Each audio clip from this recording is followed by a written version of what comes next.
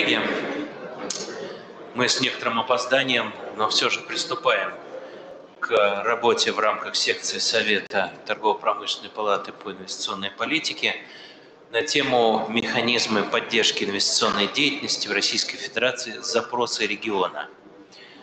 У нас сегодня большая повестка дня сформирована, и, э, к сожалению, я вынужден буду достаточно жестко отслеживать регламент. Вместо ранее задуманных где-то 12-15 минут у нас осталось где-то, наверное, минут по 7 на каждую презентацию. Поэтому убедительная просьба ко всем докладчикам следить за этим регламентом и не обижать других, чтобы всем хватило времени. Тема огромная. В одно такое заседание на самом деле не уложишь. А, формы государственной поддержки разнообразны и на федеральном уровне, и на региональном уровне. В каждом регионе где-то пересекаются, где-то свои собственные. И это здорово, поскольку дает возможность инвесторам выбирать, где же лучше провести соответствующие а, инвестиционные, возвести соответствующие инвестиционные объекты, заводы, предприятия самого разного типа. А, сегодня мы заслушиваем возможности а, Иркутской области и думаю, что будут очень интересные презентации. Начнем с министра экономического развития Иркутской области Евгения Александровича Рачевского. Пожалуйста, Евгений Александрович, можно с места. Да, спасибо. Ну, как раз место, микрофон, все есть. Э, значит, спасибо, Антон Викторович. Э, уважаемые коллеги, спасибо всем тем, кто остался, посчитал для себя важным присутствовать на вот этой вот э, нашей теме. Она действительно является наиважнейшей в текущем периоде, потому что вот прямо сейчас, по сути, происходит серьезное реформирование возможных мер и инструментов поддержки на федеральном уровне. У меня подготовлен достаточно большой емкий доклад, э, э, который значит, затрагивает все механизмы. Там некоторые я э, отразил в своей презентации, когда рассказывал про регион. Вот. Я не буду по нему двигаться, а скажу лишь, скажем, основные моменты и тезисы, которые, ну, на мой взгляд, кажутся важными.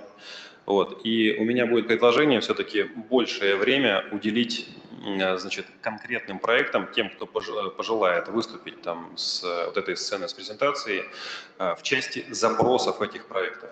Значит, общий принцип, который поддерживается на сегодня и федеральными властями, и, э, там, в частности, Иркутской областью, заключается в том, чтобы проекты, относящиеся к приоритетным отраслям для отдельной территории, для страны в целом, имели необходимые стартовые условия с точки зрения базовой экономической модели. Она должна быть э, эффективной, она должна э, отражать ожидания инвесторов. И, скажем, э, второй момент – это операционная деятельность этих проектов.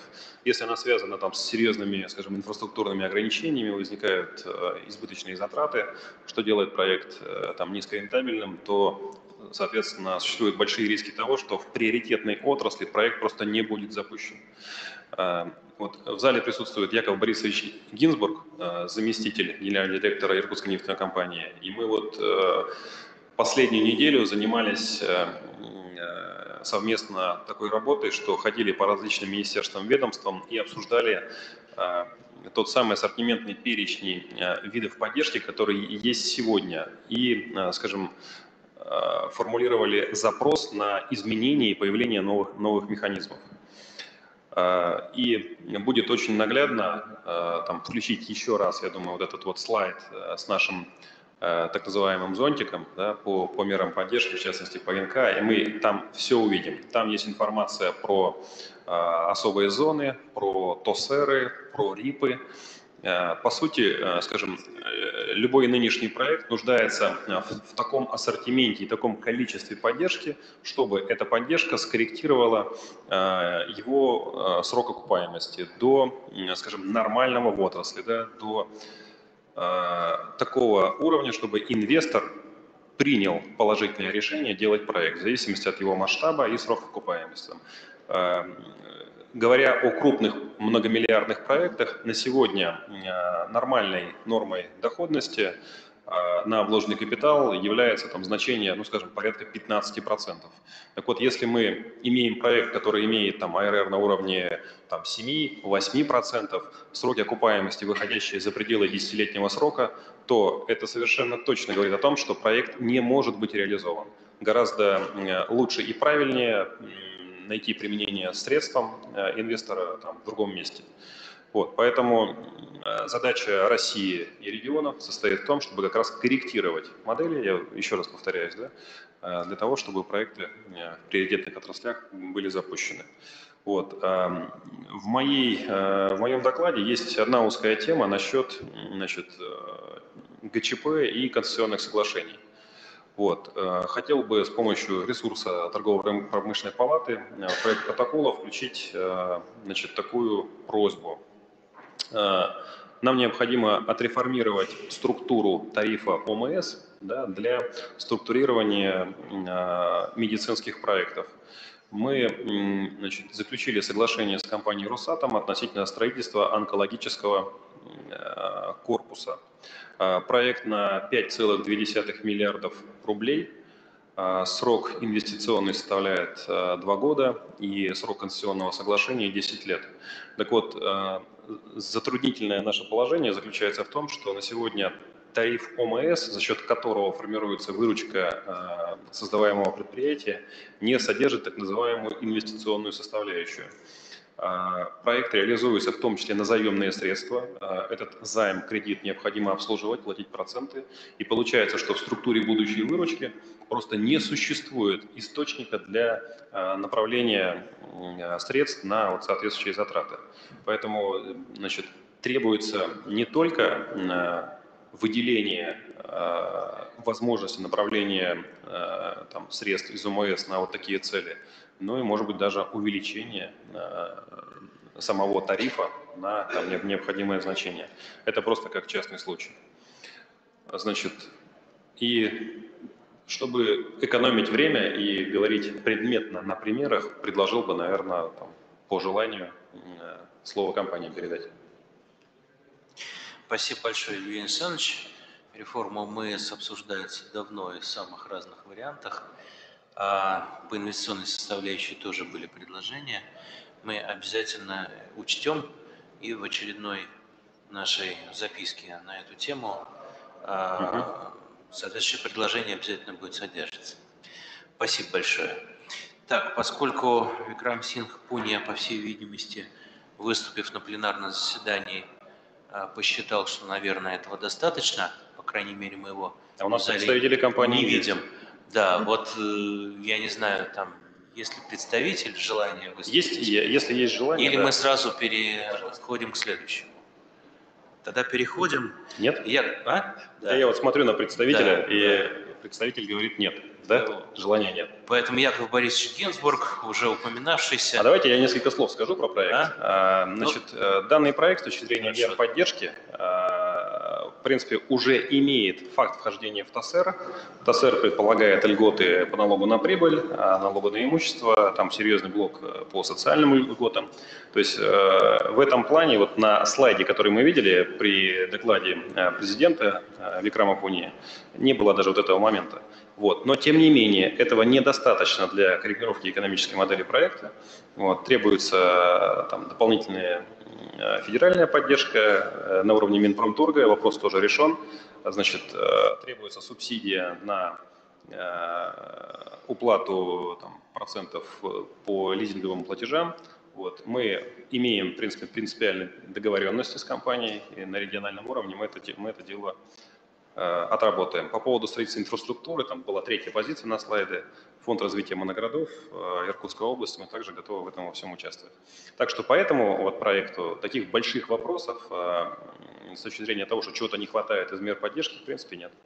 Вот. Но у нас есть другие проекты, гораздо более, скажем, интересные, вот именно в разрезе обсуждаемой темы и очень масштабные. У нас была договоренность с Иркутской нефтяной компанией о том, что вроде как выступление не планируется. Но вот большая просьба все-таки к Якову Борисовичу Гинзбургу э, еще раз рассказать. Ну тогда да.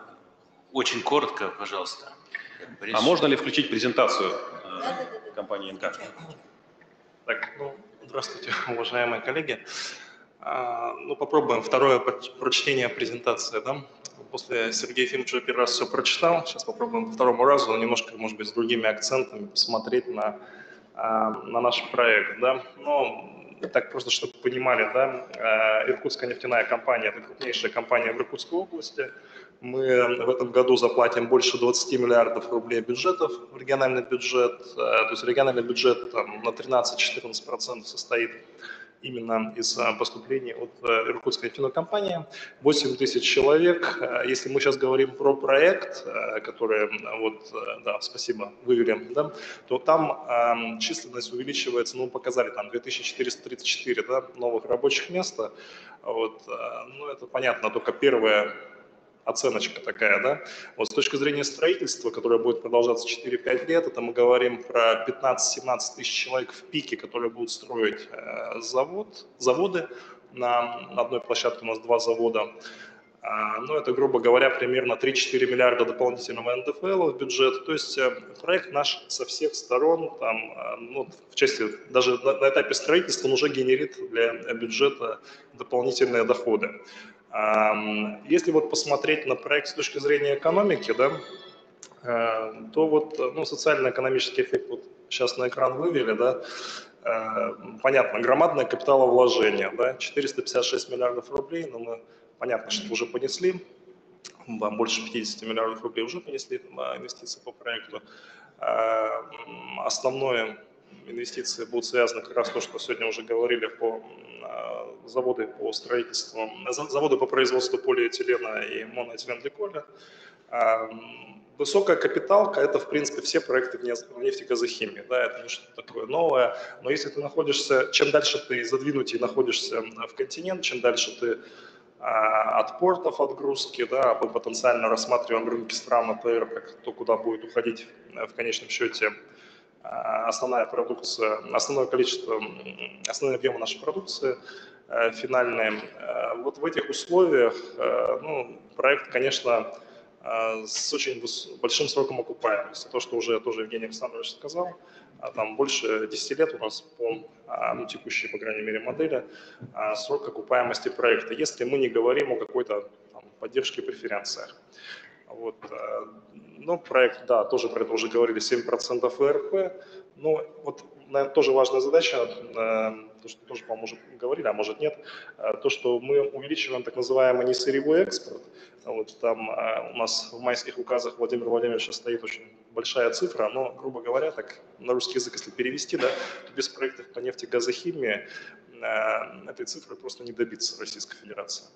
Ну, помимо нашего проекта есть ЗАПСИП-2, Тобольске, да, есть Амурский ГХК, есть проект Роснефти ВНХК, вот, ну, есть проект ИНК. Вот так из глобальных проектов это примерно, а, вот, наверное, все. Но наш проект, он, конечно, поменьше, чем все там другие проекты Сибура, примерно в два раза меньше, чем Сибуровский проект. То есть если с ним сравнивать, у нас очень похожие там будут э, технологии, это выделение этана и его переработка в полиэтилен. А, ну, в принципе, с точки зрения производства полиэтилена никто лучше не придумал, да. Есть там три вида сырья, да, нафта, суги и полиэтилен. И, суги и этан, да, так вот лучше, чем этан, понятно, никакого вариантов нет, поэтому, но даже этот экономичный вариант, который дает минимум побочной продукции, да, тем не менее приводит вот таким высоким сроком окупаемости. И тогда перейдем на вот этот последний слайд, наверное. Вот. И вот теперь по необходимым мерам государственной поддержки, да. Значит, ну, вот можно слева посмотреть, э, вот э, существует определенное законодательное ограничение с точки зрения э, региона, что регион может, а что не может. Да?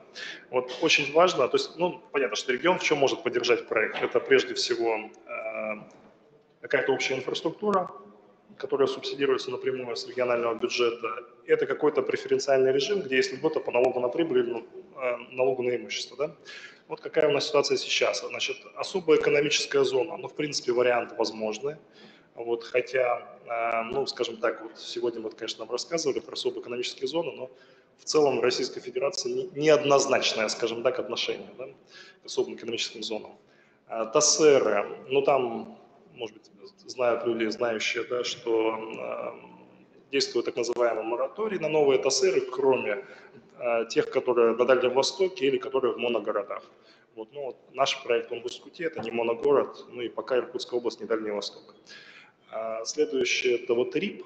А, РИП это очень а, хороший инструмент, вот, очень простой, понятный. Касается только налога на прибыль, но ну, ну, простейший инструмент, да, там 5 лет ставка э, 0 у нас вот и в регионе, и в федерации, да, а следующие 5 лет ставка 10%. Региональная там, а федерация также 0 простой, понятный инструмент. Но дело в том, что вот наш, положим, проект, он 23-24 год мы строимся, а в 28 году это последний год, когда можно, э, значит, когда заканчивается сроки действия все нормы в налоговом кодексе, которые касаются РИПов. Но вот мы сейчас на площадке Министерства финансов уже инициировали вот этот инструмент продления срока действия РИП. Ну и, конечно, хотели бы, чтобы законодатели тоже обратили на это внимание, потому что очень простой инструмент, он прозрачный, понятный, хорошо себя зарекомендовал, там еще со времен принятия в 2014 году. У нас, в принципе, в регионе постоянно увеличивается количество региональных инвестиционных проектов, то есть он востребован. Вот нам кажется, это ну, один из, одно из важных а, направлений. А если говорить вот об отраслевой поддержке, а, именно вот с точки зрения нефтегазохимии, да, ну, вот Российская Федерация, несмотря на громадные запасы газа, да, по нефтегазохимии примерно 4% в мире. Вот, чтобы нам а, сейчас нишу занять, пока а, американцы с китайцами там ведут торговые войны, да, нам необходимо ввести, а, ну там сейчас рассматривается там порядка 8 миллионов тонн новых мощностей там, в период вот как раз где-то между 23 и 25 годом. Очень удобная конъюнктура для этого. Но для этого необходимо создать определенные условия для тех, кто занимается выделением этана, и для тех, кто его перерабатывает. Вот э, для этого э, профильное министерство Минэнерго да, совместно с Минфином там разрабатывался вот мера по так называемому отрицательному акцизу на этан. Ну, там курируется на уровне э, вице-премьера Дмитрия Николаевича Казака э, вот этот инструмент. То есть в какой-то, я так понимаю, момент, видимо, к весенней сессии планируется вот что-то инициировать уже непосредственно какой то а, законопроект, по крайней мере, по дорожной карте, которая сейчас рассматривается. А вот, а, там стоит э, весенняя сессия, по-моему, март э, законопроект внести в правительство, ну и так далее. Ну вот эти два, например, э, два инструмента вместе для нашего проекта, вот конкретно отрицательный акциз на этан плюс РИП, ну вот, исходя из модели, это действительно как Сергей Александрович говорит, корректирует нашу модель, да, и улучшает, там у нас 7-8% ИРР, да, там возрастает ИРР до где-то 11-12. Но для того, чтобы действительно иностранный инвестор вошел, для того, чтобы, ну, по большому счету, и российский инвестор вошел, э, необходимо, конечно, ну, цифра действительно ближе к 15. Там, со всеми стороновыми рисками, но вот у нас есть предприятия совместно с японцами, с китайцами переговоры. Конечно, ниже 15% ну, глобально никто не рассматривает. А, ну, наверное, вот я бы тоже обратил внимание на отрицательные осознанные данные. Наверное, Яков Борисович, спасибо. Да, как раз э, основной слайд показан. Э, ясно, что надо делать. Э, мы со своей стороны возьмем на карандашик эту тематику посмотрим, может быть, проведем отдельное заседание общественного совета при Минпромторге на тему вот таких вот длинных, сложных проектов, которые заполняют определенный вакуум э, в каких-то отраслях. Это важная история. И если позволите, мы тогда будем иметь вас в виду в качестве, возможно, одного из докладчиков по этой теме. Вот, чтобы Минпромторгу чуть попроще было с Минфином потом править наше российское законодательство. Откомментировать хотите? Да, Антон Пожалуйста, хотел, хотел бы вот как раз на базе этого слайда, а, скажем, высказать региональные позиции. Можно его еще раз на экран вывести?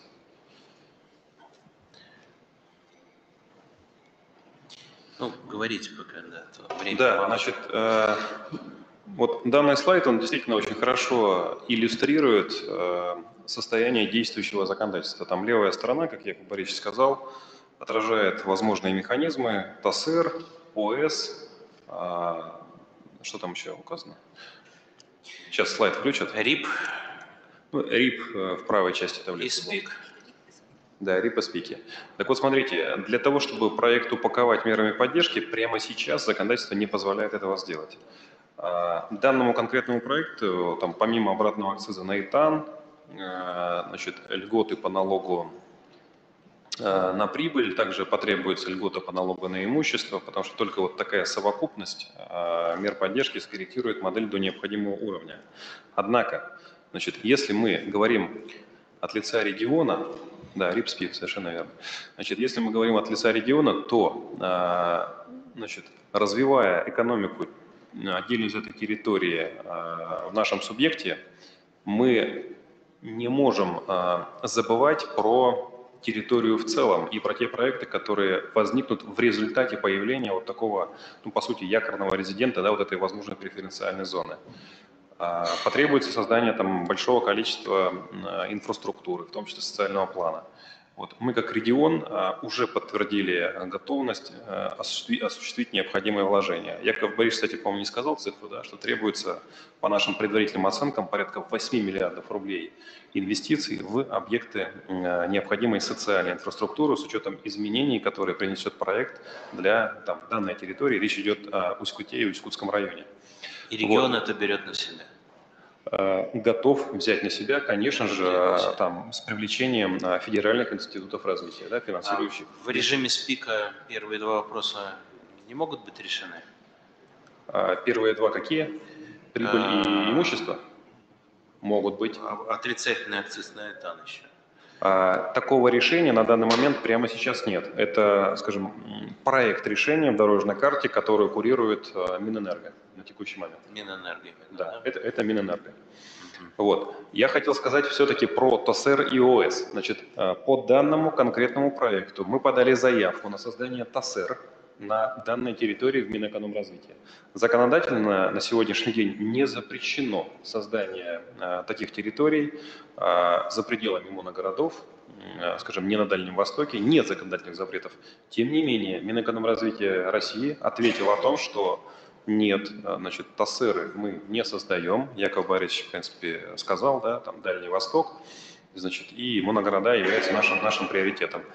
А, Можем рассмотреть ОС. Вот мы, наверное, там, не наверное, а точно будем подавать соответствующую заявку. Но АЭС в разрезе, значит, потребностей ИНК – это лишь один из инструментов. И, например, если будет продлен РИП, да, то этот инструмент замещает необходимость создания ОС. Но когда проект разовьется, э, вопрос, а что делать с остальным бизнесом? Вот как раз для остального бизнеса также необходим э, там льготный режим для коррекции уже их моделей. И вот в этом случае нам требуется, э, нам как региону, значит, либо ТАСЭР, либо ОС, либо что-то, что по содержанию соответствует э, содержанию вот, э, данных режимов. Хорошо. И обратите, обратите внимание, да, создание территории с преференциальным режимом под чертой. Вот эта Мгм. черта как раз, это по сути за проектные потребности. Мгм. Вот это то, что я хотел со стороны региона Спасибо. прокомментировать. Хорошо, коллеги, давайте следующий проект. Э, Николай Ильич Мельник будет докладывать про Саянск химпласт с презентацией. Пожалуйста.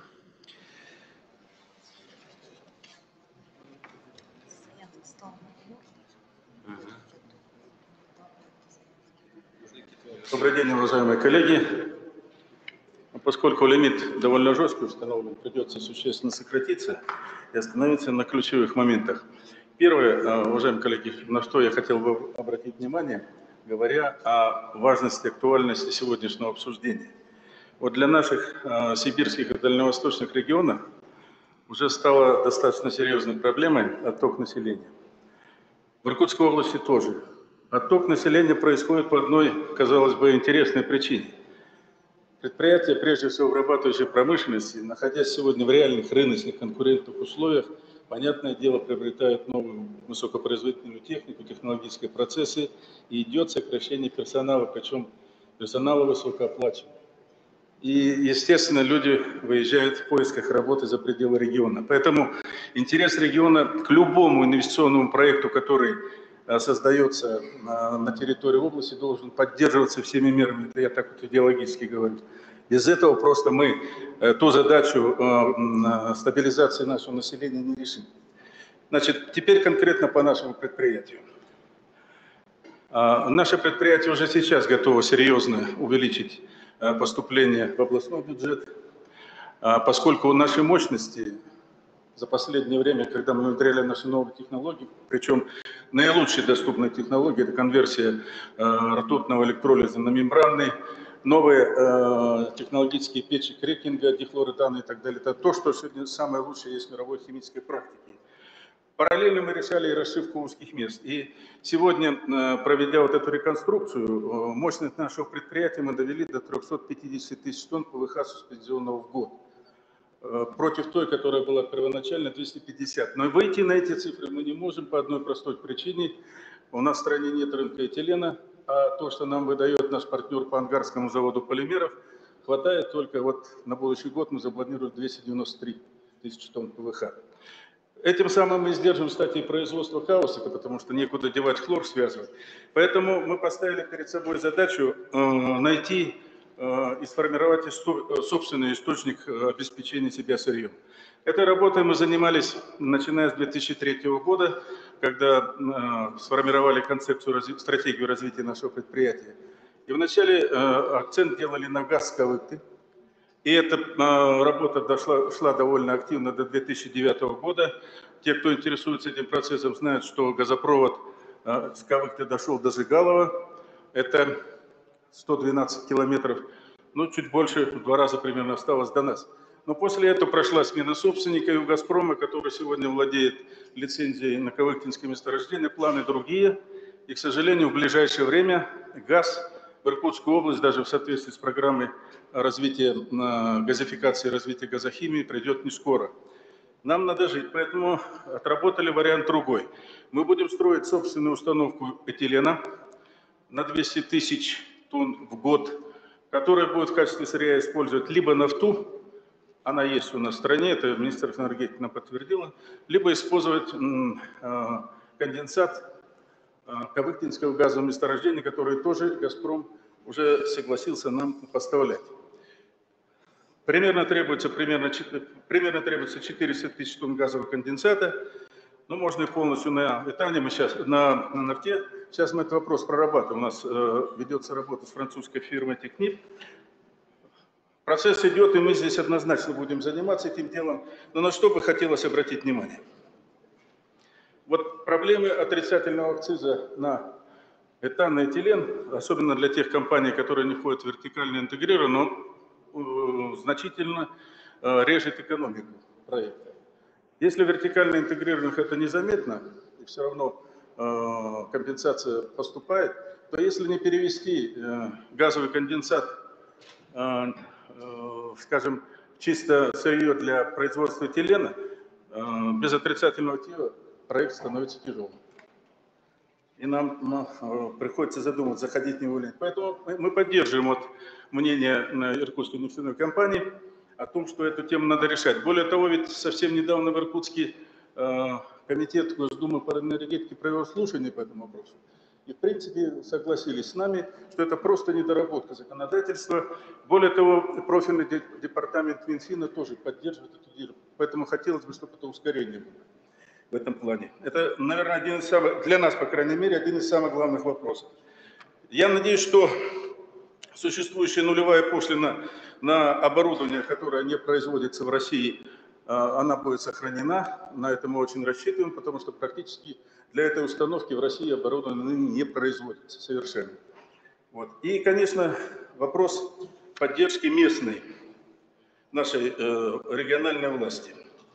Э, Ну, Саянск, город наш небольшой, 40 тысяч примерно населения, где мы являемся городообразующим предприятием, сейчас является территорией опережающего социально-экономического развития, но по существующему законодательству мы туда, конечно, свой проект, мягко говоря, вести не можем. Хотя можно манипулировать созданием новых юридических лиц, но это не, не тот, наверное, вариант.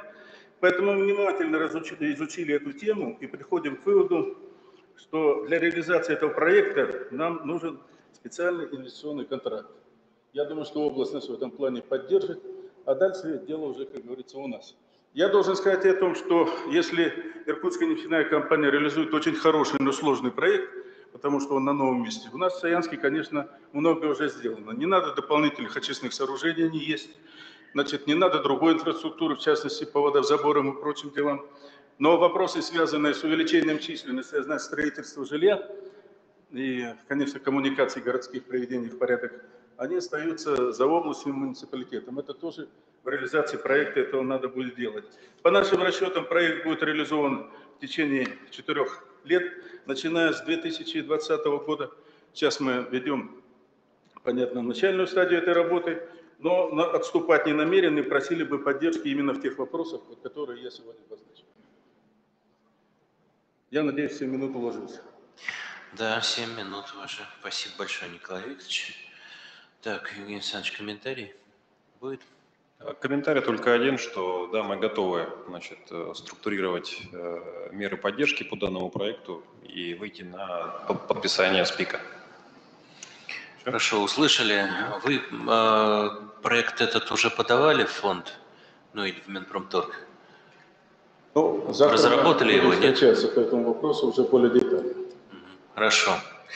Ладно, спасибо большое. Да, пожалуйста. Вон там микрофончик, прямо за вами. Союз малых городов Российской Федерации. Вы знаете, это очень яркий пример, это доклад, эта ситуация для многих наших небольших городов страны, где ведущую роль играют градообразующие предприятия. Поэтому в данном конкретном случае я предложил бы, в принципе, от имени региона и ТПП предложить и выработать систему мер, поддержки запроса этого предприятия, которое работает и на себя, и на интересы города, где оно расположено. Это очень важный прецедент. Естественно, если бы вы тоже поставили этот вопрос на заседание общественного совета Минпромторга, тоже было бы очень важно. Мы будем мудировать этот вопрос на заседании совета э, Минстроя, Минстроя РФ. Так, то же самое. Думаю, что за объединенными усилиями мы сможем посодействовать предприятию решения этой очень важной задачи укрепления позиций городообразующего предприятия как инструмента развития города и развития очень важного производства Хорошо. Благодарю вас. Спасибо большое. Так, Так, ко мне вопросов, видимо, нет, я могу... ну да, пока присаживайтесь, да. Может быть, потом будут еще какие-то реплики дополнительные. А Вот э, значит, Минпромторг э, года три назад выступил как платформа да, для промышленных кластеров. Обещается инвестирование 50 на 50 в случае занесения в реестр. А Вопрос, это еще актуально на сегодня, вы не знаете? Насколько я помню, а, по кластерам вот таких специальных бюджетных ресурсов не было выделено а, в достаточном количестве. Они через другие меры господдержки реализуются, через субсидирование, там, через те же спики. Ну, просто на сайте Минпромторга есть недавняя статья, что деньги выделены именно вот в плане э, поддержки, именно в аспекте промышленных платформ.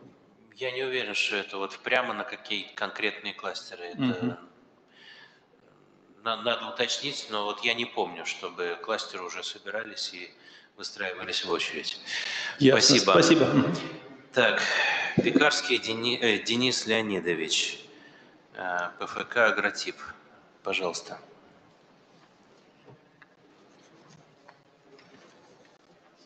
Добрый день, уважаемые коллеги.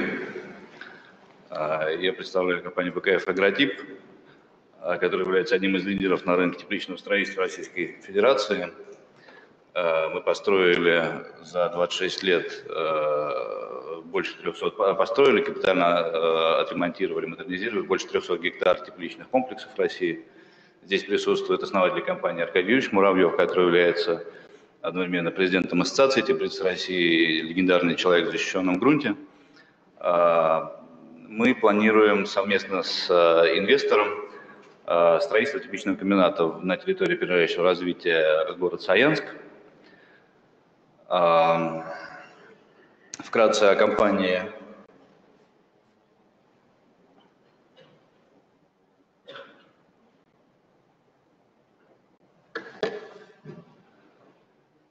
Ну, э, это я уже сказал. А, Современный тепличный э, комплекс – это не просто конструкция из э, стекла и металла, это сложнейшее инженерное сооружение, в котором э, больше 30 инженерных систем задействовано, которые работают одновременно, чтобы обеспечить растениям оптимальные условия для максимальной продуктивности. На данный момент практически до 200 килограмм, например, огурца длинноплодного в год мы можем получать с метра квадратного площади теплицы. Современные технологии позволяют это делать. По томату это в районе 100-120 килограмм. А, тепличные комбинаты по-прежнему используют энергию солнца, поэтому они стеклянные, для, поскольку каждый процент солнечной энергии – это процент урожая. А, но также с переходом на круглогодичное выращивание, чего не могли добиться раньше – Э, в силу того, что мы понимаем, что зимой э, и осенью солнца недостаточно, э, чтобы давать достаточное количество энергии для растений. Тепличные комбинаты стали одними из крупнейших потребителей энергии, электроэнергии. Например, для производства огурца нам требуется в районе 2 мегаватт энергии на гектар. Следующий слайд, пожалуйста. Это, опять же, краткая информация о компании, которую я уже сказал. Еще следующий слайд, пожалуйста. А, заключение хочу сказать, что мы являемся не только строителями, но мы также и производим конструкции тепличные, мы производим оборудование, систему подвеса, и мы единственная в России компания, у которой есть собственное агросопровождение. То есть мы тепличные комбинаты выводим на урожайность, обеспечивая не просто конструкцию, то есть холодный домик, в котором что-то можно вырастить, но и сам урожай. Именно это мы и планируем э, делать э, в Саянске. Э, у нас есть собственный тепличный комбинат в Краснодарском крае. Следующий слайд, пожалуйста. В котором у нас построен учебный центр, мощности которого мы планируем использовать для подготовки агрономических кадров. К сожалению, в России практически, не практически, а де-факто отсутствует профессиональное образование агрономов защищенного грунта, потому что агрономы защищенного грунта совершенно отдельная специализация, и агрономы открытого грунта никаким образом не могут работать в теплицах без дополнительной подготовки. А, следующий слайд, пожалуйста. А, цель проекта, а, во-первых, проект состоит из двух очередей, данная презентация только про первую очередь, 12,5 гектар цель проекта – обеспечить круглогодичные овощи собственного производства для Иркутской области, возможно, межрегиональной кооперации и поставки продукции в соседние регионы, а также предполагается, что наш проект станет первым в России, который сможет экспортировать продукцию. На данный момент продукция защищенного грунта из России не экспортируется. Не имеет смысла сейчас об этом много говорить, но вот мы, я ожидаю, что мы будем пионерами и первый регион, первая э, страна, в которой планируется экспорт нашей продукции, это Монголия. Следующий слайд, пожалуйста. А, но, конечно, приоритет для нас все-таки обеспечение э, свежих овощей для населения Иркутской области. Мы планируем в первую очередь 12 гектар выращивать в районе 14 тысяч тонн свежих овощей в год. Продукция будет э, реализовываться через, э, преимущественно через сети Иркутской области, э, торговые сети Иркутской области. Это будут в первую очередь огурцы, томаты и зеленые. Следующий слайд. Как я уже сказал, проект будет реализован на территории опережающего социально-экономического развития города Саянск. Здесь присутствует мэр Саянска Олег Валерьевич. Спасибо большое за всяческое содействие, которое вы нам оказываете. Я надеюсь, что а, в результате мы получим отличный проект и будем дальше развиваться успешно на благо э, региона и города. Следующий слайд. А, а, опять же, это то, что я уже сказал, вкратце просто визуализация огурца. Следующий слайд, пожалуйста. Как я уже сказал, поскольку мы являемся производителями конструкций тепличных, то тепличный комбинат будет на 50% э, построен из отечественных комплектующих материалов, Инвестиции в первую очередь э, составят порядка 4 миллиардов рублей. Э, в результате реализации в первую очередь проекта будет создано порядка 250 рабочих э, мест. Также, поскольку в Иркутской области существует три старых тепличных комбината, еще советской постройки, так называемые антрациты, а, комбинат будет готов обеспечить трудоустройство для сотрудников а, этих старых комбинатов в случае, если они по какой-то причине прекратят свою деятельность. Следующий слайд, пожалуйста. А, Прошлый слайд, который мы пр- пролистнули, еще вкратце информация. Сибирский э, федеральный округ, так же как и Дальний Восток, практически э, ну, в разы отстают по э, обеспеченности овощами, свежими овощами защищенного грунта, зимними овощами на душу населения от европейской части России. А, Следующий слайд. Здесь не очень э, видно, но, э, в общем, э, наглядно видно, что где находится комбинат относительно Иркутска, Красноярска, Улан-Удэ, Чита. То есть мы будем способны доставлять продукцию по федеральной трассе Сибирь в, любую сторону. Расстояние практически роли не играет, потому что томаты мы можем транспортировать практически на неограниченное расстояние. Э, Для огурца 2000 километров не является проблемным расстоянием для транспортировки. Следующий слайд, пожалуйста. А, Это то, что я сказал. Э, Уже комбинаты являются крупными потребителями э, электроэнергии, поэтому для э, проекта будет принципиально важно э, возможность получать электроэнергию э, на уровне тарифов, действующих в Иркутской области. То есть мы рассчитываем, что тариф будет э, ниже, чем 2 рубля 10 копеек. А, Следующий слайд, пожалуйста. Это прогно- про- прогнозные объемы, о которых я уже сказал, порядка 14 тысяч тонн овощей и зеленые. А, Вкратце о мерах поддержки. А, Конечно же, мы рассчитываем на все меры поддержки, которые нам обеспечивает территория опережающего социально-экономического развития, но, к сожалению, федеральные меры поддержки, которые в этом году уже на, э, известно, что на следующий год они прекратя- прекра- э, прекращены. Это льготы предусмотрены 624 постановлением по компенсации кап-затрат в размере 20%.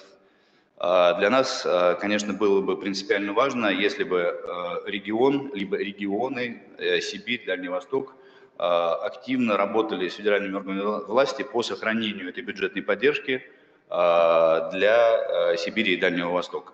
По той причине, что да, для центральной европейской части России, э, наверное, это уже не актуально, поскольку мы э, практически вышли на самообеспеченность э, огурцам, по огурцу и приближаемся уже к 50% обеспеченности. Денис томатов. Леонидович, завершайте, пожалуйста. Спасибо. А, Основная идея, мы ждем, безусловно, сохранения поддержки для Сибири, мы рассчитываем на поддержку региона. А, Для нас было бы здорово, если мы получили статус, э, статус регионального инвестиционного проекта без льгот, а, просто а, чтобы все об этом знали. Спасибо большое, коллеги. Денис Леонидович, секундочку. Скажите, пожалуйста, а вот те 14 гектар, которые в Красноярском крае были построены, как я понимаю, введены в эксплуатацию и все такое, они какие формы господдержки получили? А, И это две формы. У нас есть э, постановление э, 1528, это льготное финансирование по ставке от 1 до 5%. И вторая льгота – это субсидирование капексов 20%. То есть вот эта вторая позиция для вас ключевой Да. является. Спасибо большое.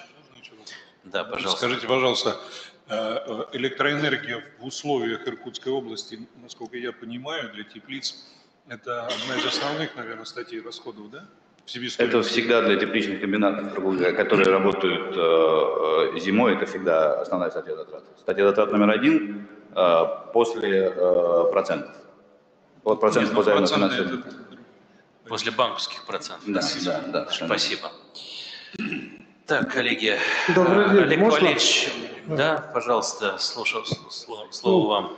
Раз уж тут два предприятия города упомянулось, мэр города Саянска, Боровский Олег Валерьевич, хотелось бы по поводу первого выступления Николая Викторовича поддержать в плане, что если мы называемся территорией опережающего развития, то хотелось, чтобы через БНК России пробился вопрос о льготировании наших городообразующих предприятий.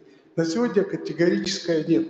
Непонятно почему. Никто не просит их освобождать от налогов текущих, но если они вкладывают деньги в свое развитие, то хотя бы налог на прибыль должен идти на их развитие, потому что без этого вы моногорода не вытащим. Мы не вытащим ни теплицами, ни какими-то еще другими предприятиями от монозависимости. Поэтому это немаловажный аспект, на который бы хотелось заострить внимание. Все-таки территория должна быть территорией. Второе, по поводу тепличного комбината. Это, конечно, очень радует, но есть еще одна такая э, заковыка в законодательстве. Мы, когда входим в территорию ближайшего развития, Минэк России с нас требует конкретные акведы. Распишите, где у вас инвесторы. Мы расписываем. В ходе процесса появляются новые инвесторы, акведов нет, а процесс согласования акведов точно такой же, как получение статуса ТАСЭР. Почему непонятно? Я нашел инвестора, сложно утвердить его аквед в городе, если это нужно для города.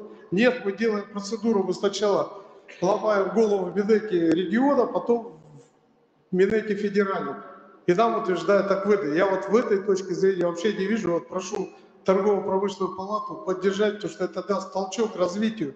Иначе многие инвесторы не могут ждать месяцами, когда мы там акведы утвердим. Спасибо Вы- за внимание. Спасибо. Вы нам направьте, пожалуйста, копии ваших переписок на эту тему. Хорошо. Хорошо. Спасибо большое. Так, следующий проект. Бурма Кира Сергеевна представляет э, Росатом.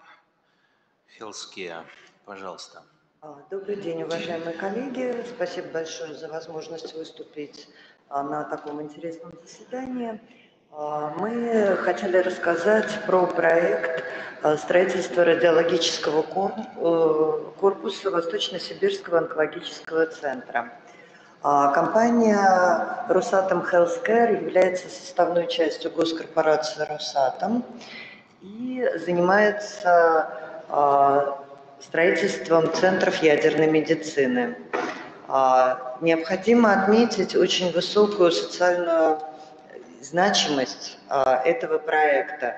В лечении онкологических заболеваний, в диагностике и в терапии наука развивается очень активно, поэтому все, что связано с объектами а, радиации, с радиофармацевтическими препаратами, а, стало последнее время а, принимать, эм, получать особое значение а, для того, чтобы а, как можно раньше диагностировать заболевание и вылечить его а, с меньшим ущербом для организма человека. Поэтому, безусловно, строительство такого радиологического корпуса, которое планируется оснастить современным оборудованием, а, как а, нашего производства, так и импортного производства, а, это, безусловно, даст Иркутской области а, очень большой весомый вклад в заботу о гражданах, в развитие инфраструктуры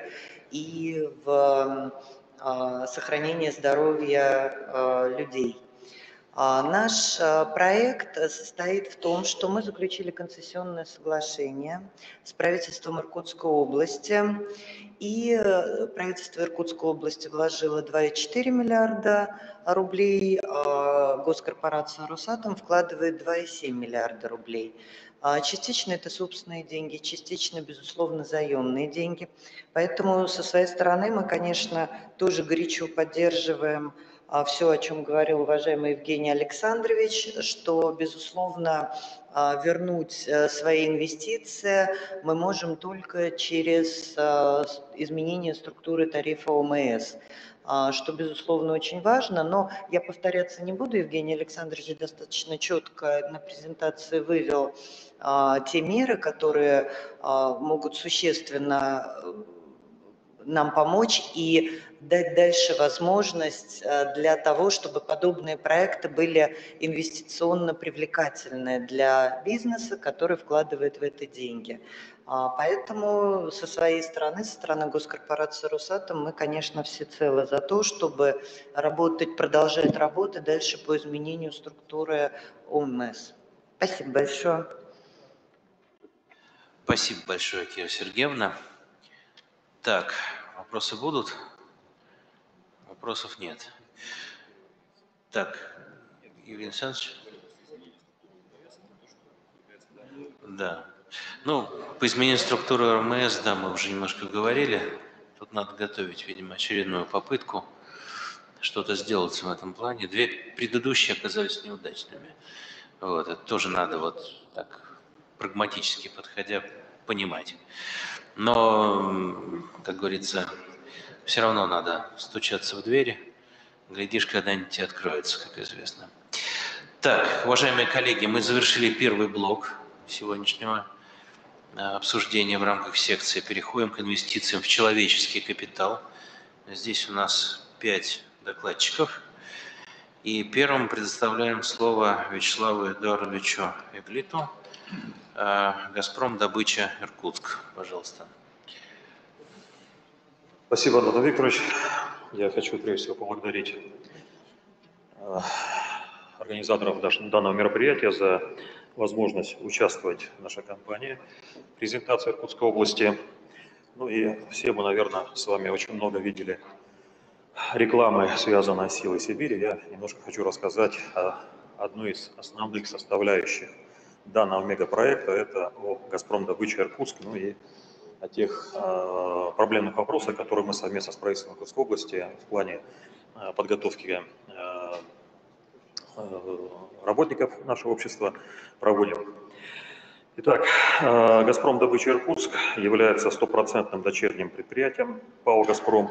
Компания является эксплуатирующей организацией объектов добычи и подготовки газа, газового конденсата, также заказчиком по проектированию строительству объектов обустройства э, газоконденсатных месторождений в Иркутской области, лицензия на которых принадлежит ПАО «Газпром». А, с апреля 2011 года «Газпром добыча Иркутск» стала эксплуатирующей организацией объектов добычи, подготовки газа и газового конденсата Ковытинского газоконденсатного месторождения. Ковытинское газоконденсатное месторождение находится в горно-таежной местности на Лено-Ангарском плато на расстоянии более 500 километров от города Иркутска. Ближайшие населенные пункты – это поселок Жигалово, в 80 километрах Прошу первый слайд. Который находится 80 километров э, от центра месторождения и 120 километров на северо-восток поселок Магистральный, железнодорожная станция Киринга. Кавытинское газоконденсатное месторождение по своим запасам природного газа, которое оценивается в 2,7 триллиона квадратных э, кубических метров, относится к разряду уникальных в 2019 году значит, общество проводит а, работы, уже приступило к работе освоения по, а, по обустройству газоконденсатного месторождения, приступило к очередному этапу. На следующий год у нас уже планируется реализация четвертого этапа по обустройству соответствующих, соответствующей инфраструктуры. Значит, в скором времени на э, Кабыке развернется строительство новых объектов, в том числе установок комплексной подготовки газа, газопроводов, объектов энергетики, внутрипромысловых автодорог. Одновременно будут построены терминалы отгрузки конденсата, приемки и хранения метанола, объекты инфраструктуры, включающие в себя автодороги, вахтовые поселки, электростанция, ЛЭП, полигоны ТБО и другие объекты. Максимальный уровень добычи газа мы планируем достичь в 2025 году а, до 25 миллиардов кубических метров в год. Максимальный объем производства стабильного газового конденсата 1 миллион 247 тысяч тонн в год. Вот месторождений в промышленную эксплуатацию предусмотрен в конце 2022 года. Объем добычи и подачи газа в магистральный газопровод в этом году должен составить 5 миллиардов кубических метров в год. Значит, э, по э, подготовке кадров. Значит, мероприятия по созданию газодобывающих и газотранспортных мощностей, использующих газ месторождения Иркутского центра газодобычи, э, ведут к увеличению потребностей в персонале. В период с 19 по 24 год прогнозируемая потребность в персонале э, составит более 2000 человек, а общая численность работников общества к 2025 году увеличится в 5 раз.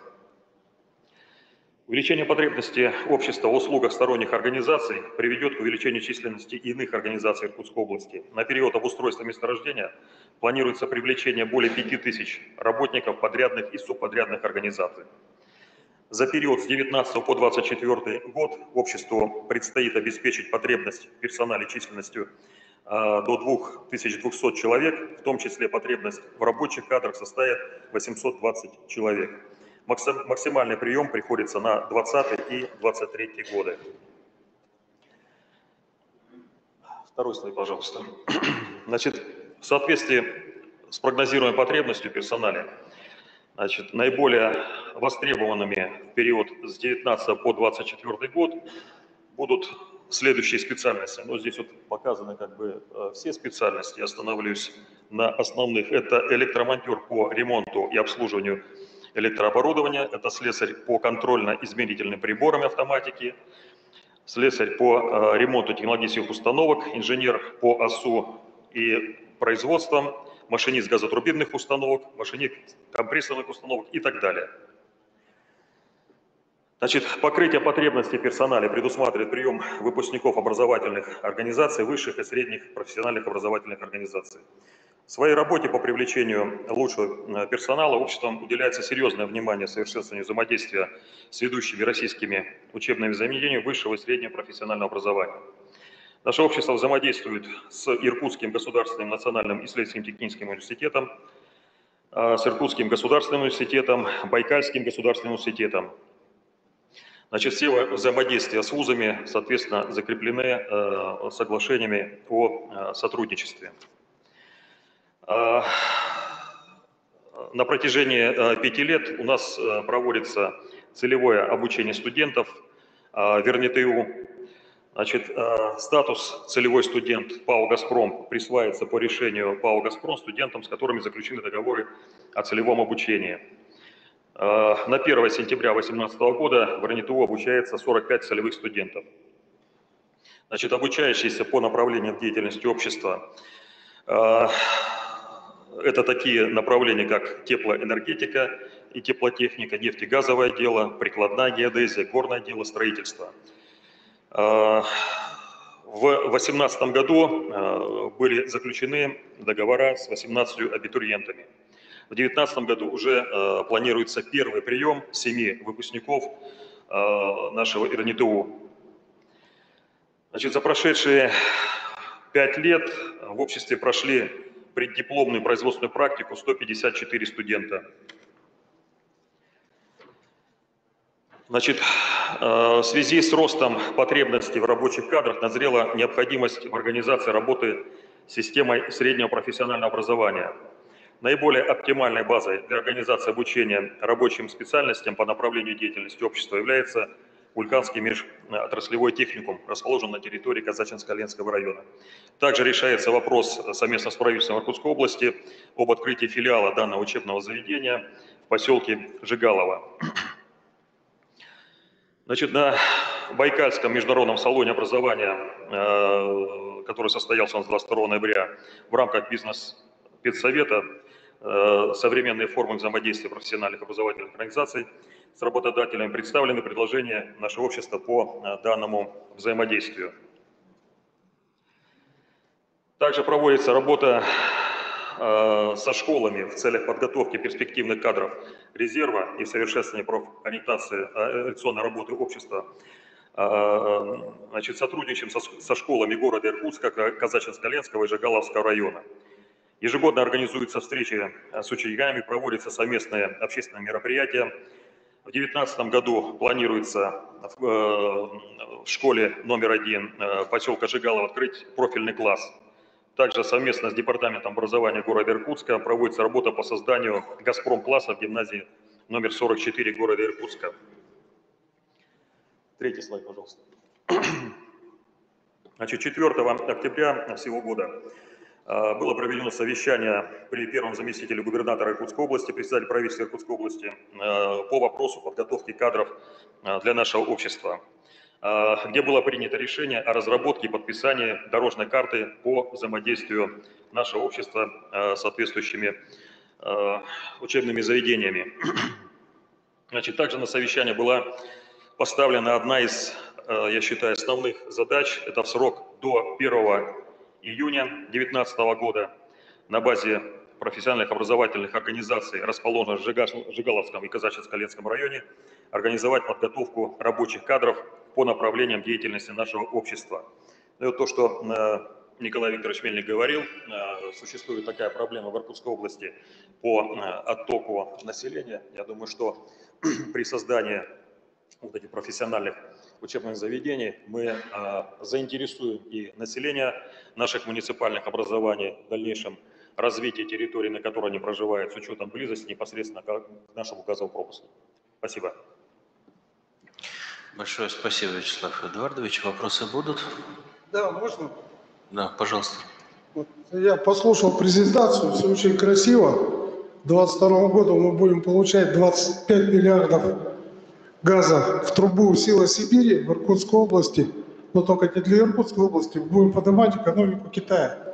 Весь газ пойдет туда. Я ни слова не услышал про трубопровод от вас в сторону Саянска. Вы говорите о том, что отток людей, а вы к чему призываете? Чтобы с наших городов люди учились и уезжали к вам на севера на вахту.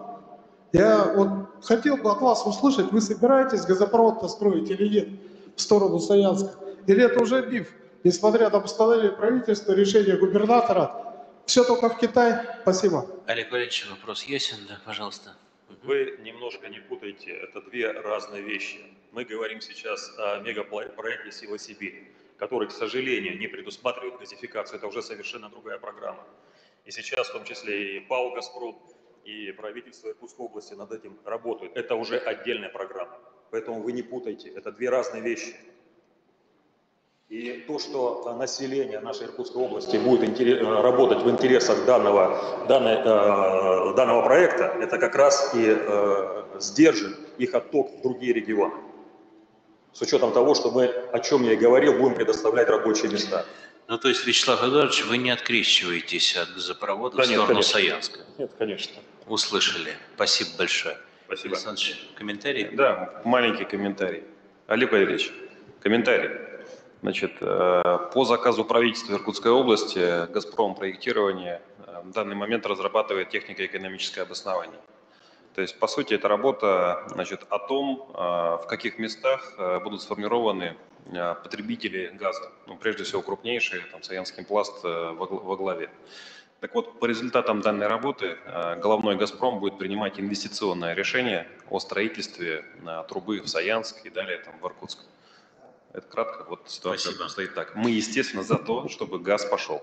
Понятно. А можно спросить, сколько труба 140 километров будет строить от Жигалова до Саянска? Сколько труба будет строить? Строительство газопровода примерно. Сколько стоит? Да, вот инвестпроект это ТЭО, по-моему, 40 миллионов. Труба, наверное, ну, чуть-чуть побольше. Хорошо. Так, следующий выступающий Кирилл Михайлович Клоков, начальник управления анализа и контроля Министерства труда и занятости Иркутской области. Добрый день, уважаемые коллеги. Э, Хочу представить вам доклад о положении ситуации на рынке труда в Иркутской области. Можно следующий слайд, пожалуйста? На сегодняшний день в Иркутской области в экономике занято 1 миллион 181 тысяч человек. К сожалению, эта цифра ежегодно снижается. Это упорные данные статистики. Э, Значит, э, в основном заняты, структура занятости составляет, на слайде представлена в сфере торговли почти 20%, в обрабатывающих производствах, в образовании, в строительстве. Следующий слайд, пожалуйста. Вам представлены э, показатели регистрируемого рынка труда. На сегодняшний день уровень регистрируемой безработицы в Иркутской области составляет 1%. Э, Хочу отметить, что э, в аналогичном периоде прошлого года эта цифра также составляла 1%. Мы можем говорить о том, что у нас стабильная ситуация на рынке труда. На сегодняшний день численность зарегистрированных безработных в Иркутской области составляет 11,7 тысяч человек. Э, Уровень безработицы по методологии Международной организации труда как вы видите, ежегодно снижается и на сегодняшний день составляет 7,4%, э, что в принципе является положительной динамикой, и мы прогнозируем, что в дальнейшем эта цифра будет тоже снижаться. Следующий слайд, пожалуйста. Э, На сегодняшний день в, центр, в органах занятости на учете э, в целях поиска подходящей работы э, состоит э, 18,7 тысяч человек обратилось. Количество вакансий ежегодно увеличивается. На сегодняшний день представлено э, уже 50 тысяч вакансий. В общей структуре спроса организации Иркутской области на рабочую силу э, лидируют э, организации строительной отрасли, 34% от всех вакансий. Обрабатывающее производство стоят на следующем месте 13%, оптовая розничная торговля 9%. Но несмотря на значительную потребность в работниках, у нас э, сегодня на рынке труда сохраняется структурный дисбаланс спроса и предложения. Э, В то время как на регистрируемом рынке труда преобладает спрос на рабочие профессии, это 78% от заявленных вакансий, э, лишь 35% граждан, обратившихся в органы занятости, имеют э, соответствующие рабочие профессии. Следующий слайд, пожалуйста. Одним из механизмов кадрового обеспечения экономики э, региона является построение эффективной системы подготовки квалифицированных кадров, в том числе отвечающей требованиям рынка труда. Э, В целях учета потребностей экономики и социальной сферы Иркутской области, э, объемов подготовки кадров Министерством труда разработан э, прогноз потребностей в кадрах региона на период до 2028 года.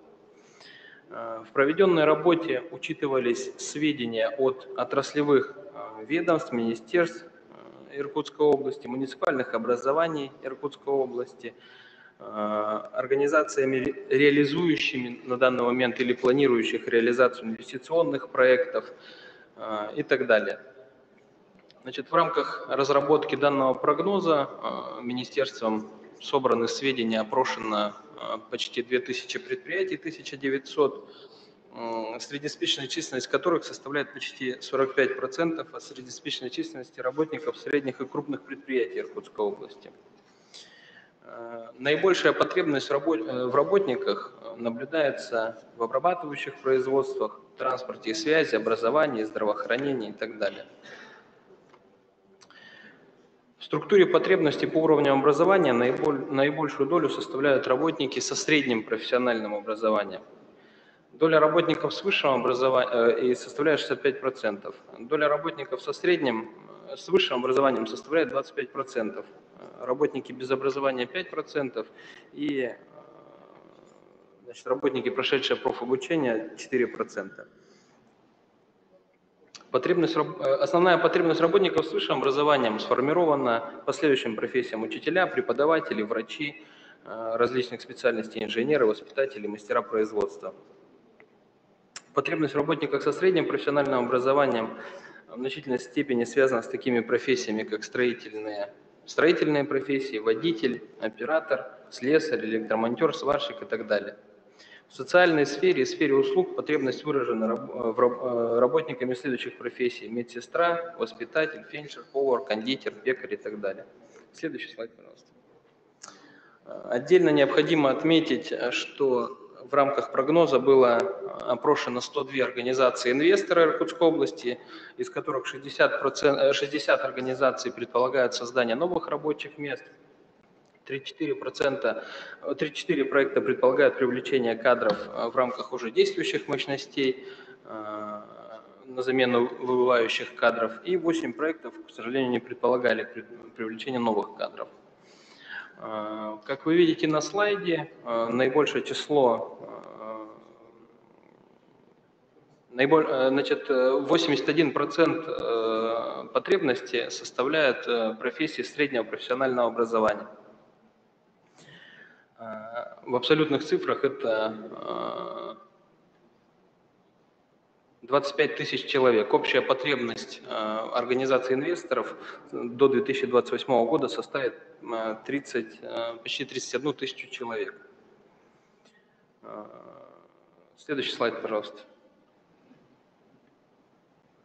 По результатам проведенного анализа перспективной потребности в кадрах выявлено, что на рынке труда наиболее востребованы работники со средним профессиональным образованием. Я э, понимаю, что я уже это говорил, я хочу на это особое внимание обратить. В, да- в рамках данного вопроса необходимо отметить, что за Тем не данные- менее, Кирилл Михайлович, надо завершать уже. Хорошо, я сейчас тогда пробегу по другим более э, интересным. Следующий слайд, пожалуйста. И следующее. Значит, сегодня на пленарном заседании уже говорилось э, о том, что в регионе разрабатывается и в, скорее, в ближайшее время будет принят э, государственный план.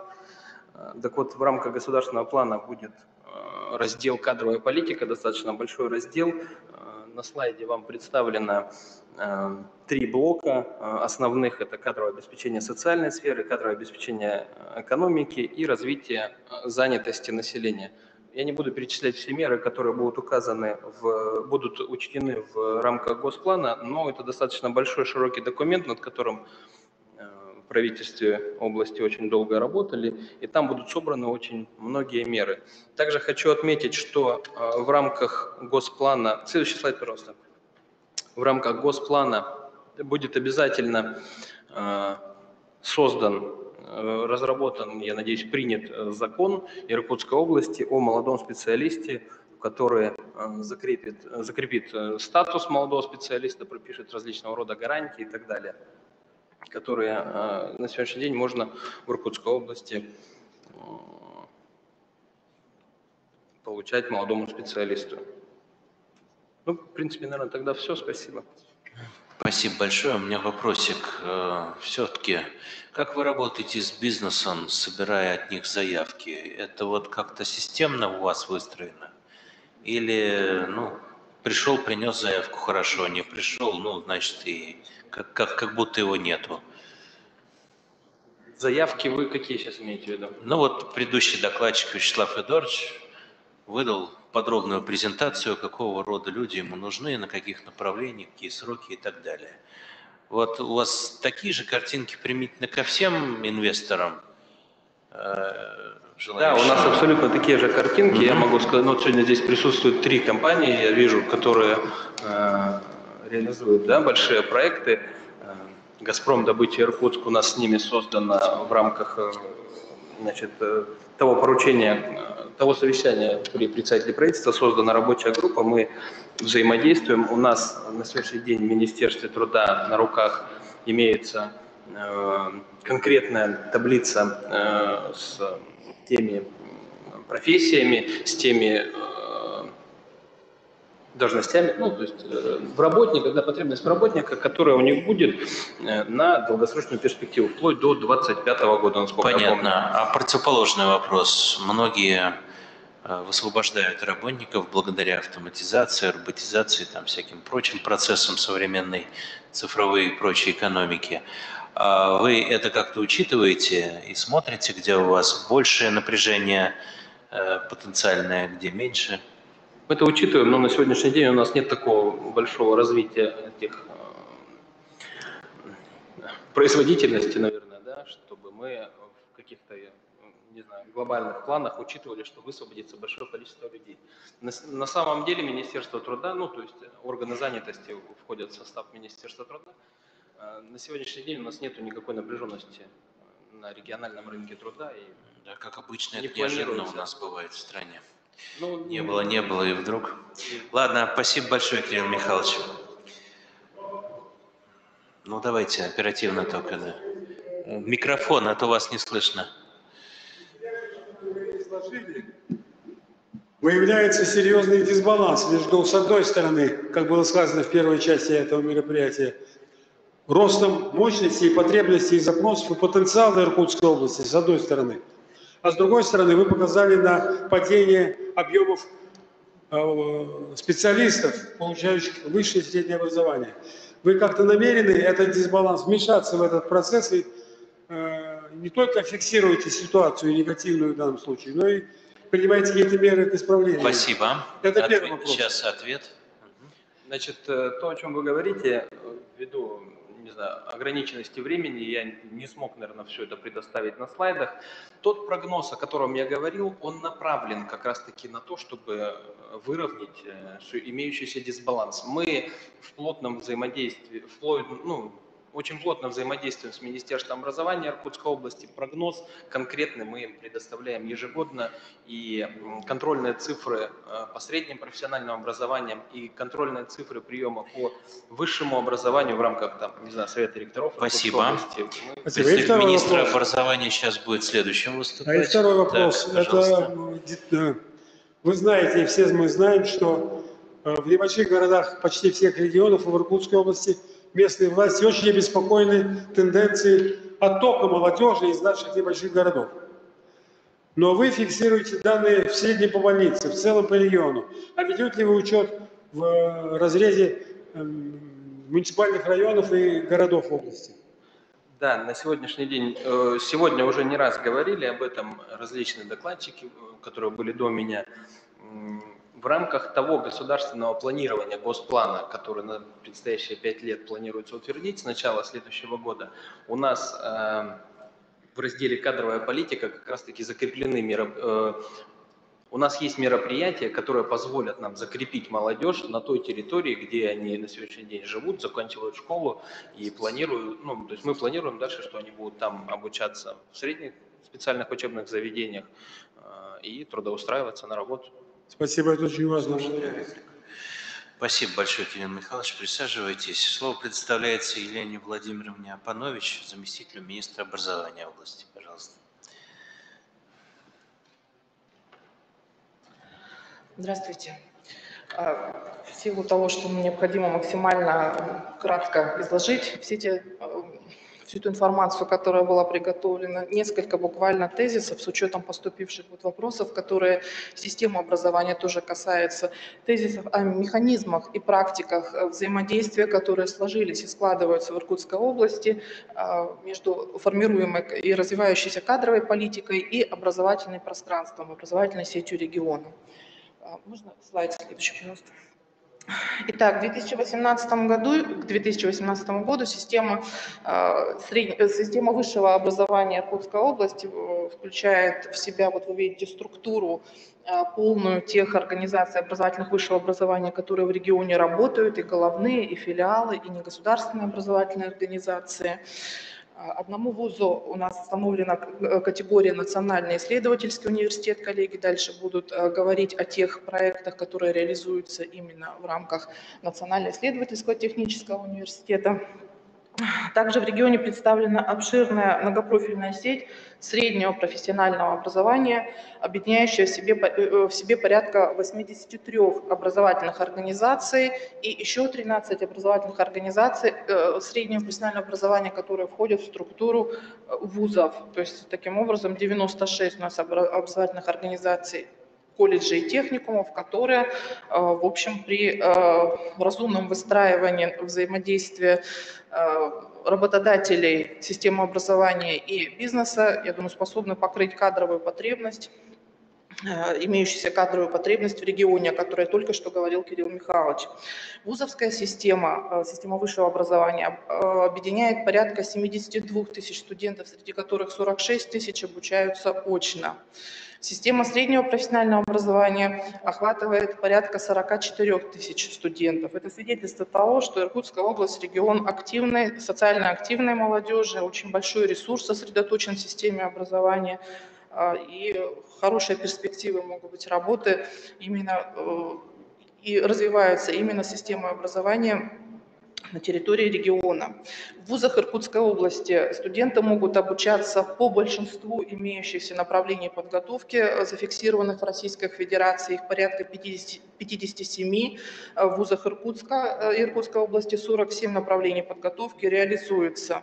Ну вот сегодня уже мы услышали в докладе Дениса Леонидовича о том, что, например, узкопрофильная такая направленность в сельском хозяйстве не покрывается нашим Иркутским аграрным университетом, но я думаю, что здесь тоже можно поразмышлять, что лучше ли в Краснодарском крае готовить студентов, или, может быть, а, развить э, ту научную школу, которая позволила бы в Иркутском аграрном университете имеющуюся школу перепрофилировать и готовить необходимых специалистов у нас здесь на месте.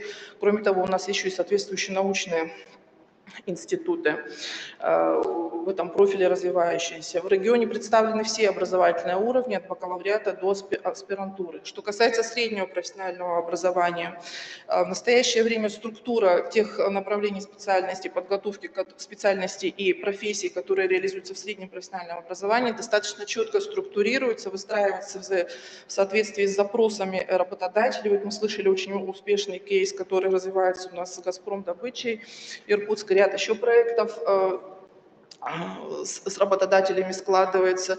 Существует несколько перечней, так называемые топ-50, можно спорить о их э, субъективности, объективности и так далее, но тем не менее они также формируются на основе кадровой потребности, заявляемые работодатели, это федеральный перечень ТОП-50 и региональный перечень ТОП-50, о котором говорил Кирилл Михайлович, в соответствии с которыми мы стараемся корректировать объем контрольных цифр приема для колледжей и техникум, для того, чтобы готовить, увеличивать набор по востребованным специальностям и профессиям.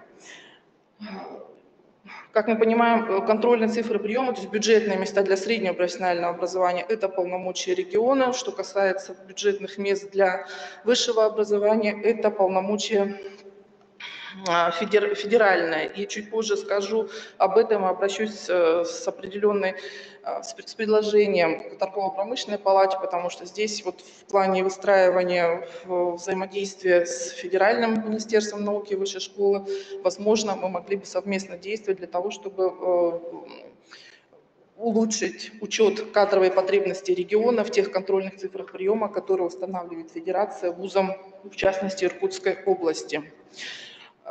Э, в весьма сложных социальных, экономических условиях и правительство Иркутской области осознает, вот э, говорилось в предыдущих докладах, то, что необходимо, конечно, создавать особые условия привлекательности и э, притяжения, точек притяжения для молодежи Иркутской области, для того, чтобы выпускники оставались в вузах региона, а выпускники, выпускники школы, я имею в виду, а молодые специалисты в предприятиях региона. Что касается выпускников школ, следующий слайд, пожалуйста. А с прошлого года по решению губернатора э, в Иркутской области введена такая мера поддержки, э, информацию, которую вы видите на слайде. Э, тем выпускникам школ, которые имеют золотую медаль за высокие достижения в обучении, отмечу, это не федеральная золотая медаль, а региональная у нас в регионе особый знак отличия вручается студентам. Условия получения этой медали более сложные, ну, будем говорить, в разы более сложная. А, нельзя иметь ни одной четверки, начиная с девятого класса. То есть, ну, это в некоторой степени более настоящая, что ли, золотая медаль. Очень многие а, ребята, которые имеют федеральную золотую медаль, не подтверждают свою свое право, скажем, иметь региональный такой э, знак отличия. Так вот, э, ребята, имеющие региональную медаль и э, 100 баллов по результатом одного из ЕГЭ э, претендуют, и уже с этого года, вернее, получают с сентября а, меру поддержки в размере 5000 рублей. Получать ребята ее будут в течение трех лет обучения при условии подтверждения ежегодного ими своей научной, общественной, образовательной активности. Это существенное такое э, подспорье талантливому студенчеству. Э, и данные, те, которые мы уже в этом году собрали, вот среди этой категории талантливых высокобальников и 100-бальников э, нам показали увеличение, ну, пока не очень значительное, но тем не менее 21%, на 21% прошло увеличение тех ребят, которые остались, ну, мы не знаем напрямую ли они из-за вот этой меры поддержки остались, но в ряде анкет опросов многие указывали именно вот как решающий шаг вот такая мера закрепления талантливых выпускников. Кроме того, а, также в регионе принято следующее решение. С осени 2018 года студентам-медикам, обучающимся по договору о целевом обучении, выплачивается а, также единовременно э, ежемесячная стипендия дополнительная 3000 рублей при условии последующего трудоустройства а, на одном э, в Организации здравоохранения Иркутской области. По условиям заключенного договора о целевом обучении. И такая же мера с 19 сентября 2019 года будет действовать в отношении педагогов. Также 3000 будут получать э, те ребята, которые будут заключать договор о целевом обучении с целью последующего возвращения в, в территории, в образовательной организации, с которыми этот договор будет э, заключен. Э, нужно сказать, что в целом если вот э, те меры поддержки, которые я назвала, касаются ну, сегмента выпускников школ, то э, что касается молодых специалистов, здесь тоже, особенно в социальной сфере, реализуется достаточно большое количество мер поддержки. Это и материальные выплаты, и э, помощь с арендой жилья.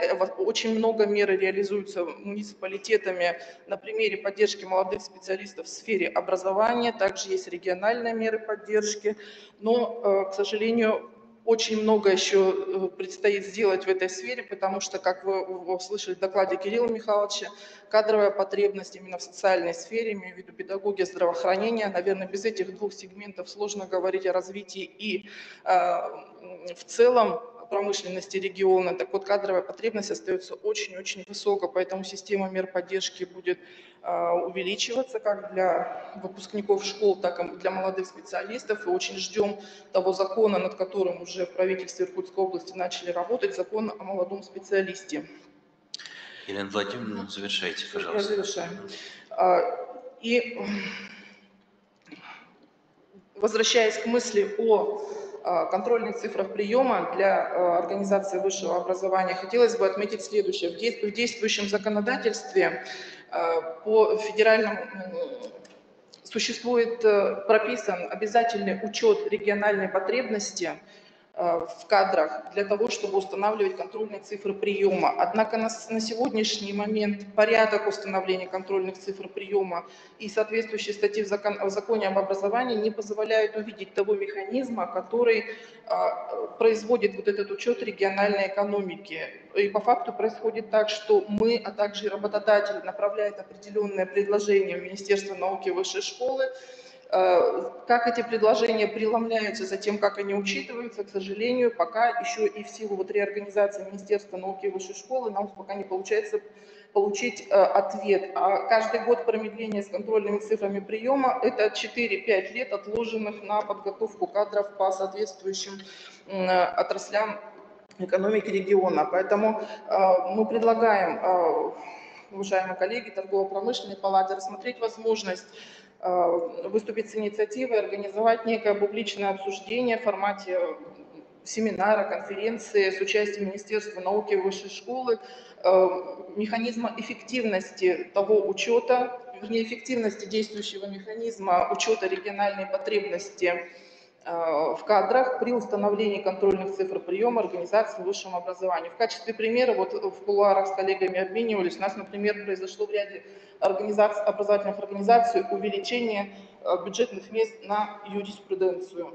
Хотя кадровая потребность прогнозная говорит о том, что у нас нет острой потребности, а есть острая потребность во врачах и в педагогах, по которым мы такого увеличения Э, значительного не наблюдаем. Поэтому в этой, в этой связи просим помощи и поддержки. Спасибо большое. Э, мы обратимся к профильному комитету торгово-промышленной палаты э, с просьбой провести соответствующее обсуждение с приглашением представителей регионов и конкретно Иркутской области.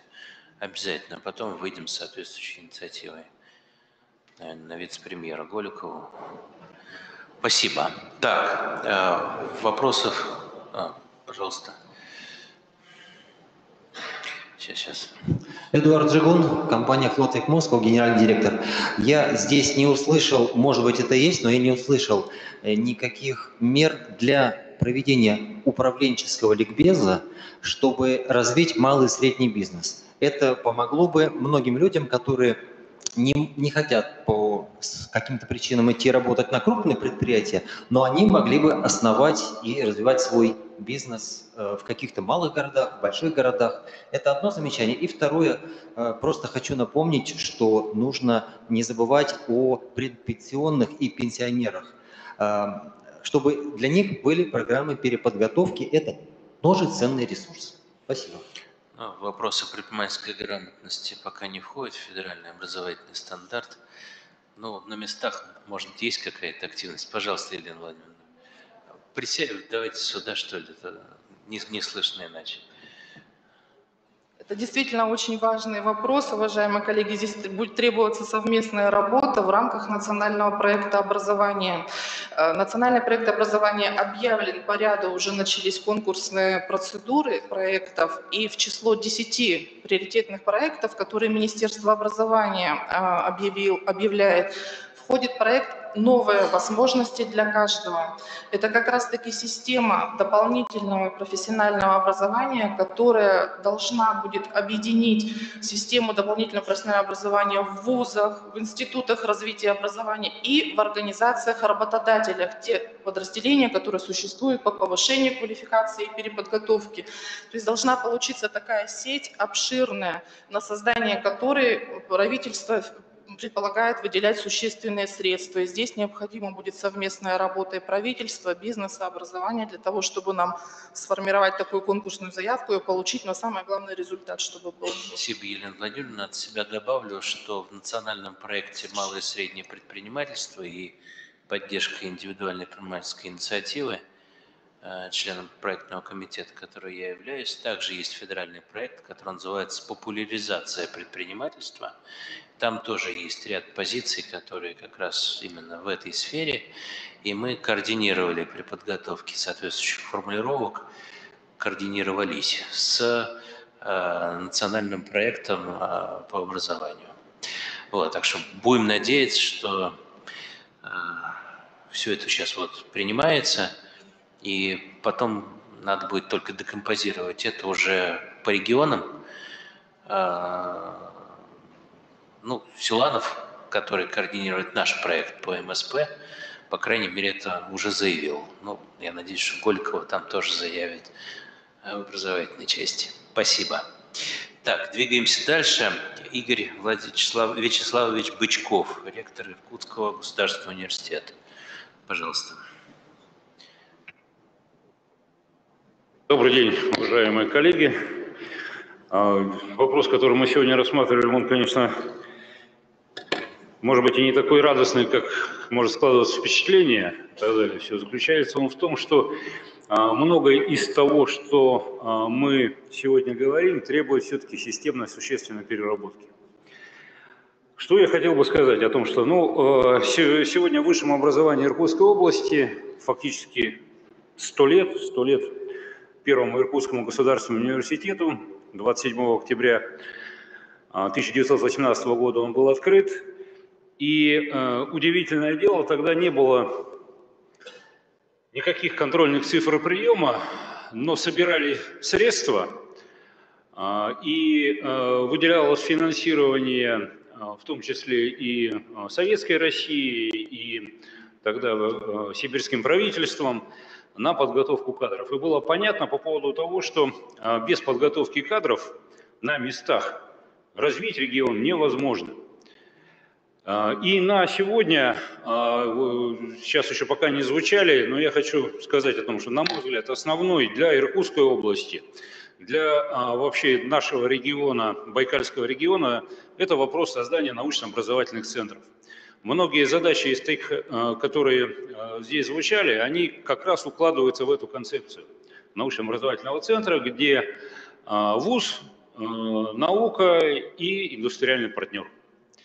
И в рамках э, этих проектов, которые сегодня запланировано 15 на всю страну, и здесь вот мое тоже обращение к торгово-промышленной палате, там, правда, написано в национальном проекте не менее 15, и уже есть высказывания, ну, в частности, и в Министерстве науки и высшего образования, что их должно быть ну, не менее 25, это точно, потому что по нашим регионам это нужно сделать.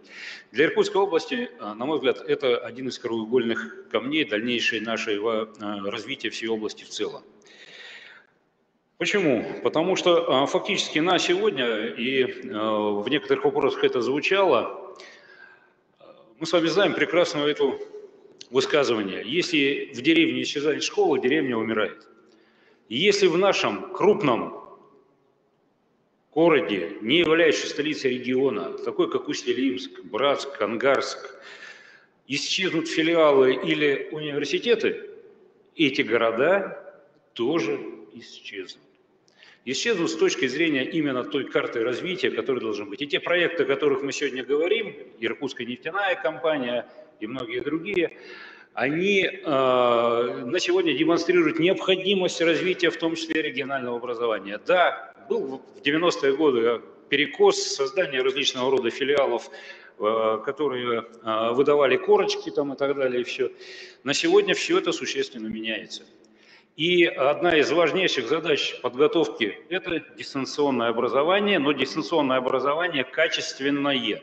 Оно не исключает и не должно исключить так называемую горловую нагрузку лекционную, но по сути своей мы обязаны сегодня, и здесь, мне кажется, это тоже а, в рамках э, профильной комиссии торгово-промышленной палаты, э, э, эту тематику нужно было бы поднимать. Вопросы, э, связанные с э, интеграцией э, высшего образования, мы не можем не рассматривать действительно без начальной этой цепочки, без нашей школы. То есть фактически на сегодня мы должны прекрасно понимать о том, что сегодня то, что готовится в школе, то дальше переходит у нас с вами в высшее учебное либо среднее учебная организация, а дальше остается в регионе, либо уезжает куда-то. Для примера, сегодня хорошо подготовленные школьники, несмотря вот на те цифры, о которых мы говорим, что их чуть-чуть больше стало оставаться, целыми классами уезжают за пределы Иркутской области. Каким образом их удержать? Ну вот в частности, действительно, программа, которая сейчас реализуется губернаторской поддержки.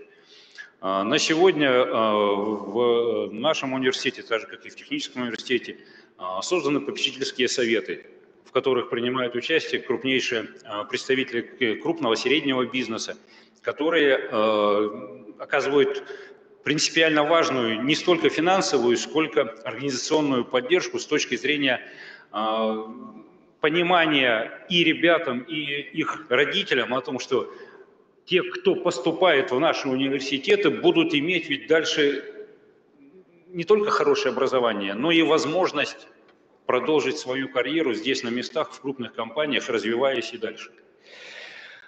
Сложнейшая задача сегодня с педагогическим образованием. Э, Елена Владимировна сказала, правда, вскользь, но с 2020 года у нас с вами вводятся, это хорошо, это правильно, профессиональные стандарты, которые требуют высшего образования для всех учителей в школе.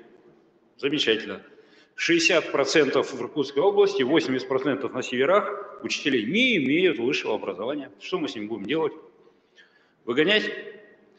Нам категорически необходимо усилить вопрос сегодня выделения э, и э, цифр приема и создания региональной программы переподготовки учителей. Для этого у нас есть все возможности – у нас э, педагогический институт, который когда-то э, был отдельным учебным заведением, сегодня входит в состав Иркутского госуниверситета. У нас есть два института повышения квалификации, но эту тему надо начинать уже сегодня, это э, необходимо вкладываться.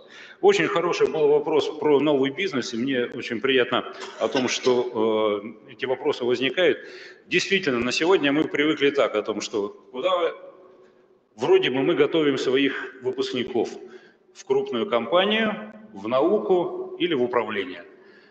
А есть огромная э, когорта ребят, которые хотят создать свое дело. Вот мы в университете попытались и сегодня выстраиваем, здесь, наверное, мне бы э, очень хотелось получить поддержку э, нашей торгово-промышленной палаты, э, сделать дополнительные курсы, либо совсем бесплатные, либо ну, очень дешевые за счет э, массовости – который бы позволил любому а, обучающемуся получить необходимый минимум знаний по юриспруденции, по экономике, по а, открытию ведения своего дела, менеджменту и так далее. Все, никуда не выходя из своего помещения, никуда не выходя из своего университета.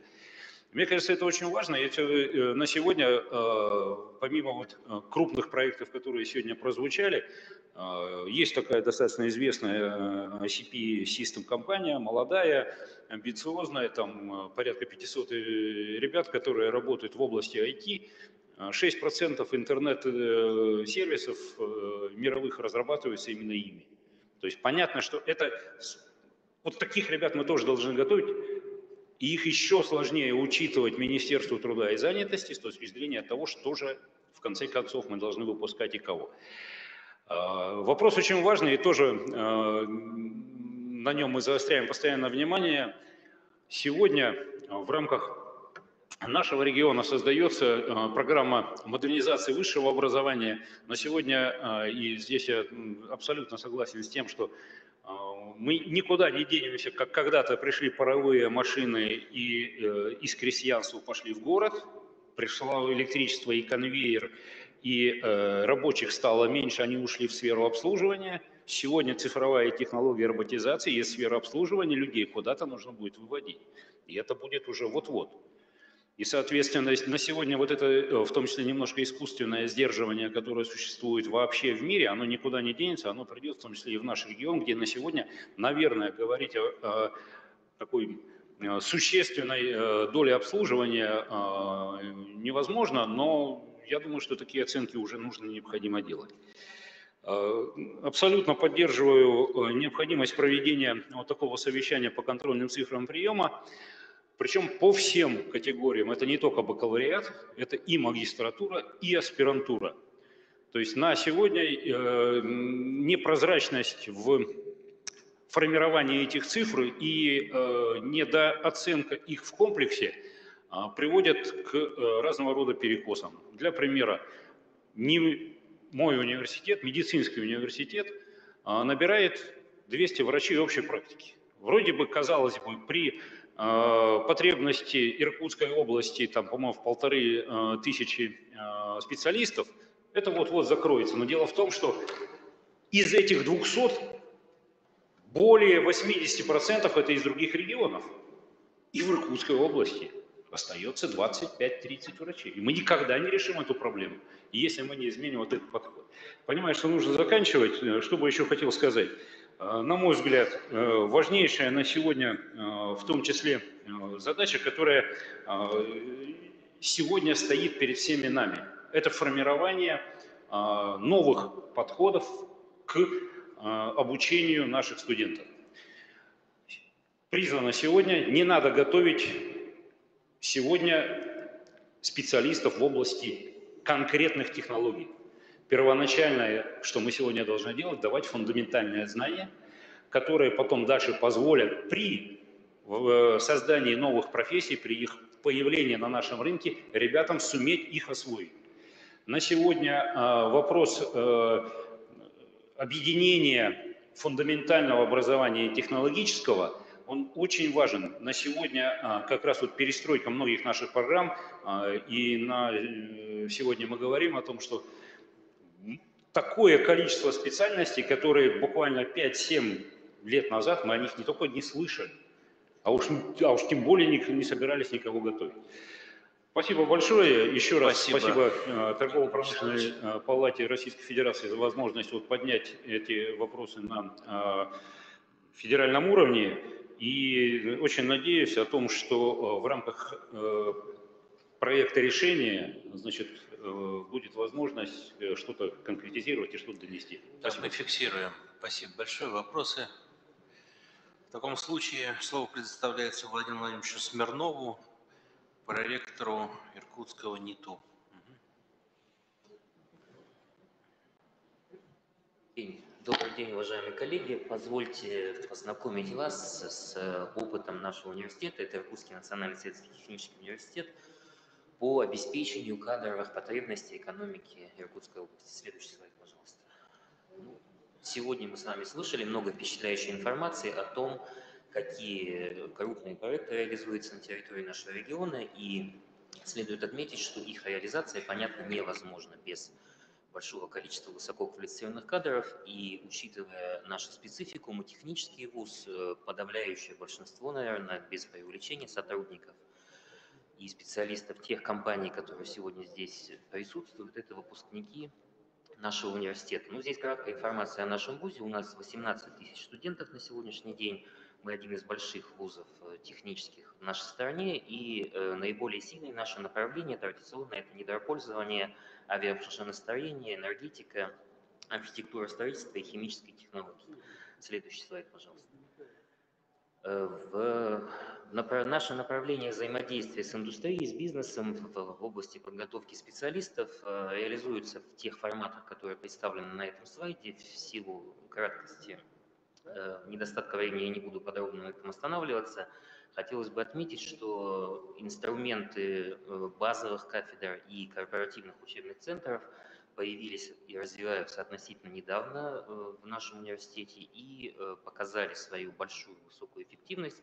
Сейчас я об этом коротко скажу. И э, еще хотел бы отдельно остановиться на целевой подготовке, целевом обучении студентов и призвать наших партнеров, которые здесь присутствуют, более активно сотрудничать с нами в этой области. Дело в том, что целевой набор и целевая подготовка – это немножко разные вещи, и в индустрии, в бизнесе не всегда есть понимание э, того, что это такое. Дело в том, что мы в рамках контрольных цифр приема, которые мы получаем от государства, можем и в рамках законодательных э, возможностей федеральных государственных образовательных стандартов можем индивидуализировать обучение бюджетных студентов под потребности индустрии, бизнеса. Но для этого мы нам необходимо иметь обратную связь, и вот эти договоры трехсторонние, а часто даже двухсторонние между студентом, обучающимся и компанией, они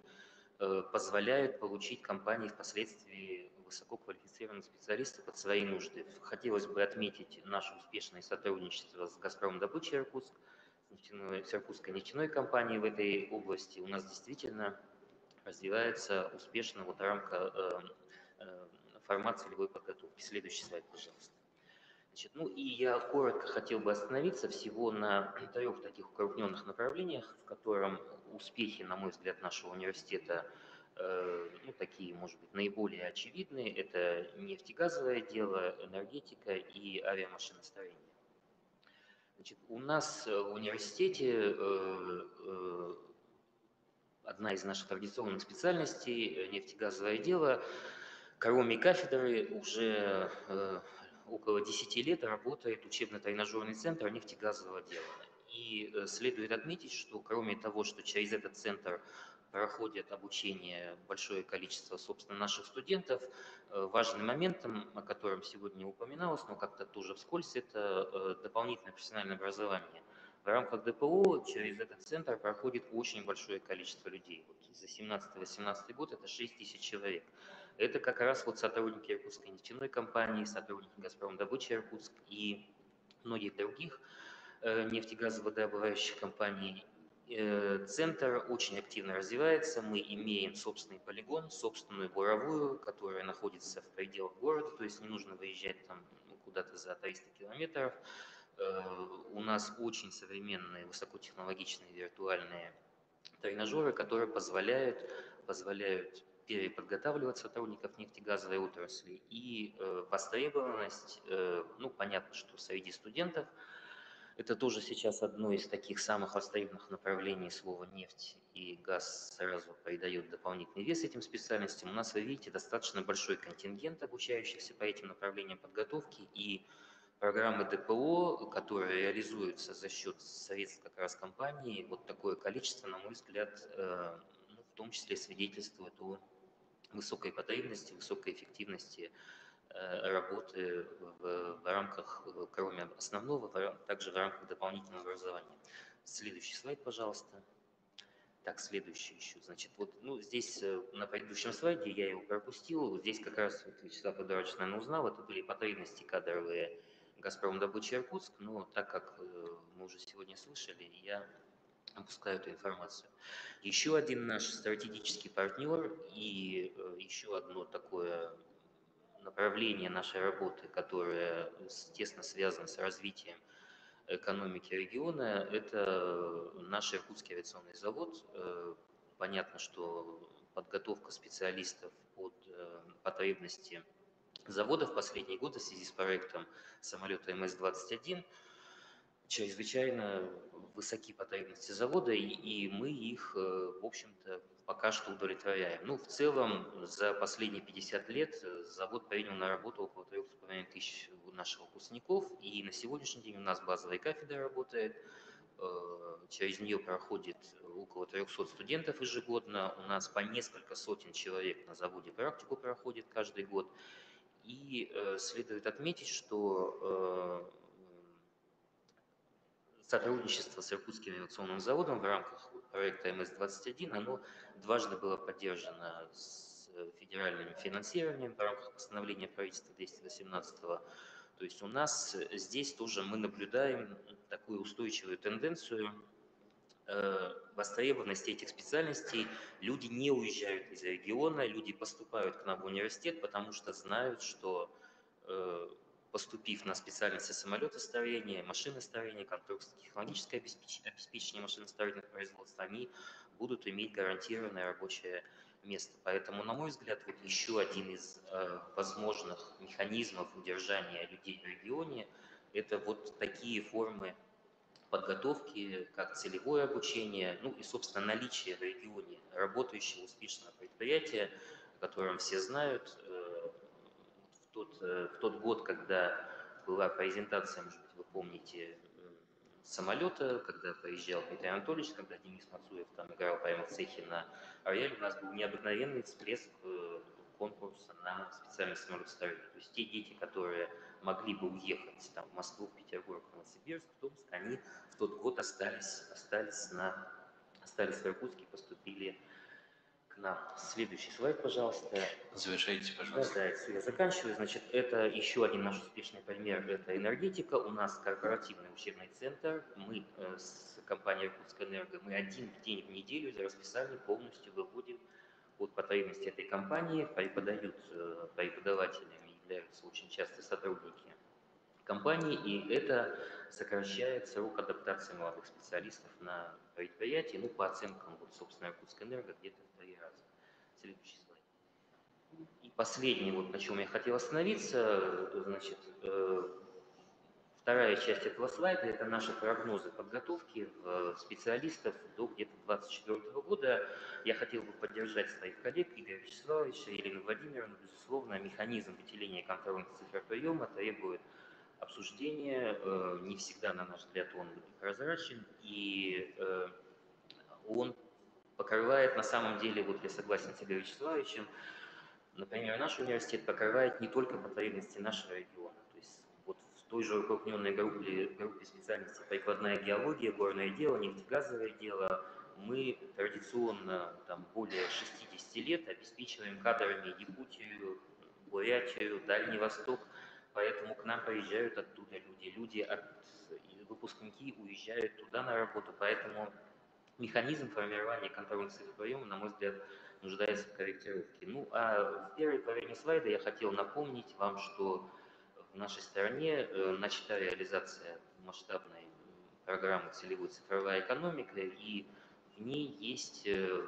несколько любопытных таких, на мой взгляд, целевых показателей. В частности, э, это достаточно резкое увеличение ближайшие годы количество э, сотрудников, прошедших программы дополнительного образования, это э, внедрение в практику производственных компаний э, так называемого профиля компетенции сотрудников, это какой-то аналог паспорта ГТО в только промышленности.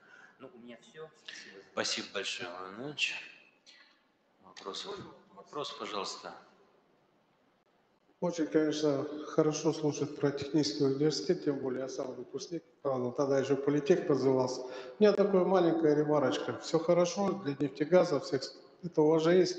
Прекрасная кафедра ПГС, я с Семеновым, кстати, общался с недавно и предложил, сейчас везде идет проект «Городская среда комфортная». В наших городах нет архитекторов, нет дизайнеров, у вас все это есть. Почему не привели студентов дизайнерским разработкам к нашим проектам там, общественных территорий, все мы готовы, но просто никак не можем найти общий язык и созвониться, сделать. Вот, извините, что здесь я в Москве, согласен, но... я сейчас передам вам визит, Давайте. в кулуарах переговорим. Спасибо. Так, коллеги, а, мы завершили основные доклады. А, переходим к дискуссии. Это реплики максимум по две минутки. И первым предоставляю слово Шептенко Вячеславу Викторовичу, директор Института организационного развития и стратегических инициатив РАНХИКС. Пожалуйста. Уважаемые коллеги, добрый день. Я не представляю Иркутскую область, а представляю московский кампус президентской академии. Э, тем не менее, Иркутская земля мне близка от дома родителей. И, э, собственно, вы, наверное, знаете э, достаточно неплохо президентскую академию, ведущая школа по подготовке управленческих кадров, собственно, крупнейшая. У нас очень много филиалов, включая Иркутскую область, где у нас есть один из наших филиалов. К сожалению, не очень большой, занимается только дополнительным образованием, но я бы рассматривал его как интерфейс для всей нашей сети. У нас порядка 60 филиалов, плюс все компетенции, которые на московском кампусе накоплены. Можно, собственно, пользоваться этим потенциалом. Мы всегда рады и, собственно, ждем любых запросов. Второй момент который хотелось бы отметить, э, это а, система сервисов, которая у нас существует, сетевых сервисов, таких образовательно-оценочных, которыми, в общем, Иркутская область уже пользуется, но мы рассчитываем, что она начнет пользоваться вузы, собственно, а, предприятия более активно. Я говорю о ставших уже, ну, так сказать, понятными и популярными конкурсно-образовательных форматах, а, например, вот вы знаете, сейчас есть целая структура, летом созданная по указу президента России страна возможностей автономной коммерческой организации, Алексей Геннадьевич Комиссаров возглавляет. Собственно, она как раз направлена на оптимизацию, совершенствование системы социальных лифтов в нашей стране. А, вот она сейчас проходит свое становление, 14 проектов там разных, разнообразных, для разных целевых аудиторий в линейке этой организации находится. Двумя занимается президентская академия, они направлены на управленцев. Я слышал, что звучал такой запрос. Э, да, собственно, один из конкурсов, конкурс «Лидеры России», наверное, всем хорошо известен. Уже второй сезон сейчас в процессе. Вот э, онлайн-этап проходит, нем 70 тысяч человек участвует. Соответственно, сегодня же мы вместе с Алексеем Геннадьевичем Комиссаровым, генеральным директором этого, этой организации и с ректором нашей академии Владимиром Александровичем Мао запустили второй сезон студенческой версии этого конкурса. Он называется «Управляй». А, он ориентирован на ребят без управленческого опыта, 18-25 лет, это в основном студенты вузов. Я уже отметил, что конкурс это второй а, по счету, и в прошлом сезоне принял участие 16 тысяч студентов. Иркутская область была представлена не очень сильно, примерно 100 человек у нас было участников, но они были результативны достаточно. У нас четверо ребят вышли в полуфинал по Сибирскому федеральному округу, там окружной э, принцип, э, четверть человек Иргупс и Иркутский госуниверситет. И одна девочка стала лучшей по СФО, в том числе вот в финале принимала участие, в лучших 160 ребят в одном проценте всей нашей Спасибо. Вороны. Да, это я просто комментирую, то, что это сервис, которым сейчас вот двум выступившим университетам предлагаю воспользоваться. Мы думаем, думаю, что примерно тысяча человек может спокойно вовлечься из Иркутской области. Компании здесь у нас участвуют в оценке и оценивают soft skills, hard skills студентов, их рекрутируют. Ну, вы соответствующее предложение туда направьте, с тем, чтобы они действительно да, мы, конечно, вспомнили о том, что такие сервисы имеются. Сегодня открыли Хорошо. просто этот процесс, да, и короткий, короткий комментарий, второй проект для взрослых малый и средний бизнес и управленцы э, молодые не только действующих крупных предприятий. У нас уже три цикла с Министерством экономического развития прошло, международного проекта, регионального этапа Global Management Challenge, такой есть конкурс, в пятницу как раз э, Максим Николаевич Орешкин э, был на межправкомиссии, это португальско-российский проект международный, вот, в Иркутске он реализован, больше тысячи человек. Это развитие аналогичных форматов через управленческие тренажеры, навыков действующих управленцев и потенциальных Спасибо, предпринимателей. Спасибо. Спасибо. Так, еще? Тогда будем заканчивать. Уважаемые коллеги, большое всем спасибо за участие. Мы, во-первых, э, теперь имеем представление об основных инвестиционных проектах, которые э, или уже реализуются, или еще будут реализовываться в Иркутской области, и в частности в городе Саянске. Спасибо большое мэру. Вот, мы примерно представляем себе, что здесь действительно понимают, что без э, соответствующим образом подготовленных кадров ничего толком сделать все равно не выйдет. И э, всерьез обращают внимание на увязку как инвестиционного, так и, собственно, кадрового образовательного процесса. Это очень важно. Мы зафиксировали все ваши предложения как по изменению нормативной базы для улучшения условий ведения инвестиционной деятельности, так и для э, инвестиций в человеческий капитал.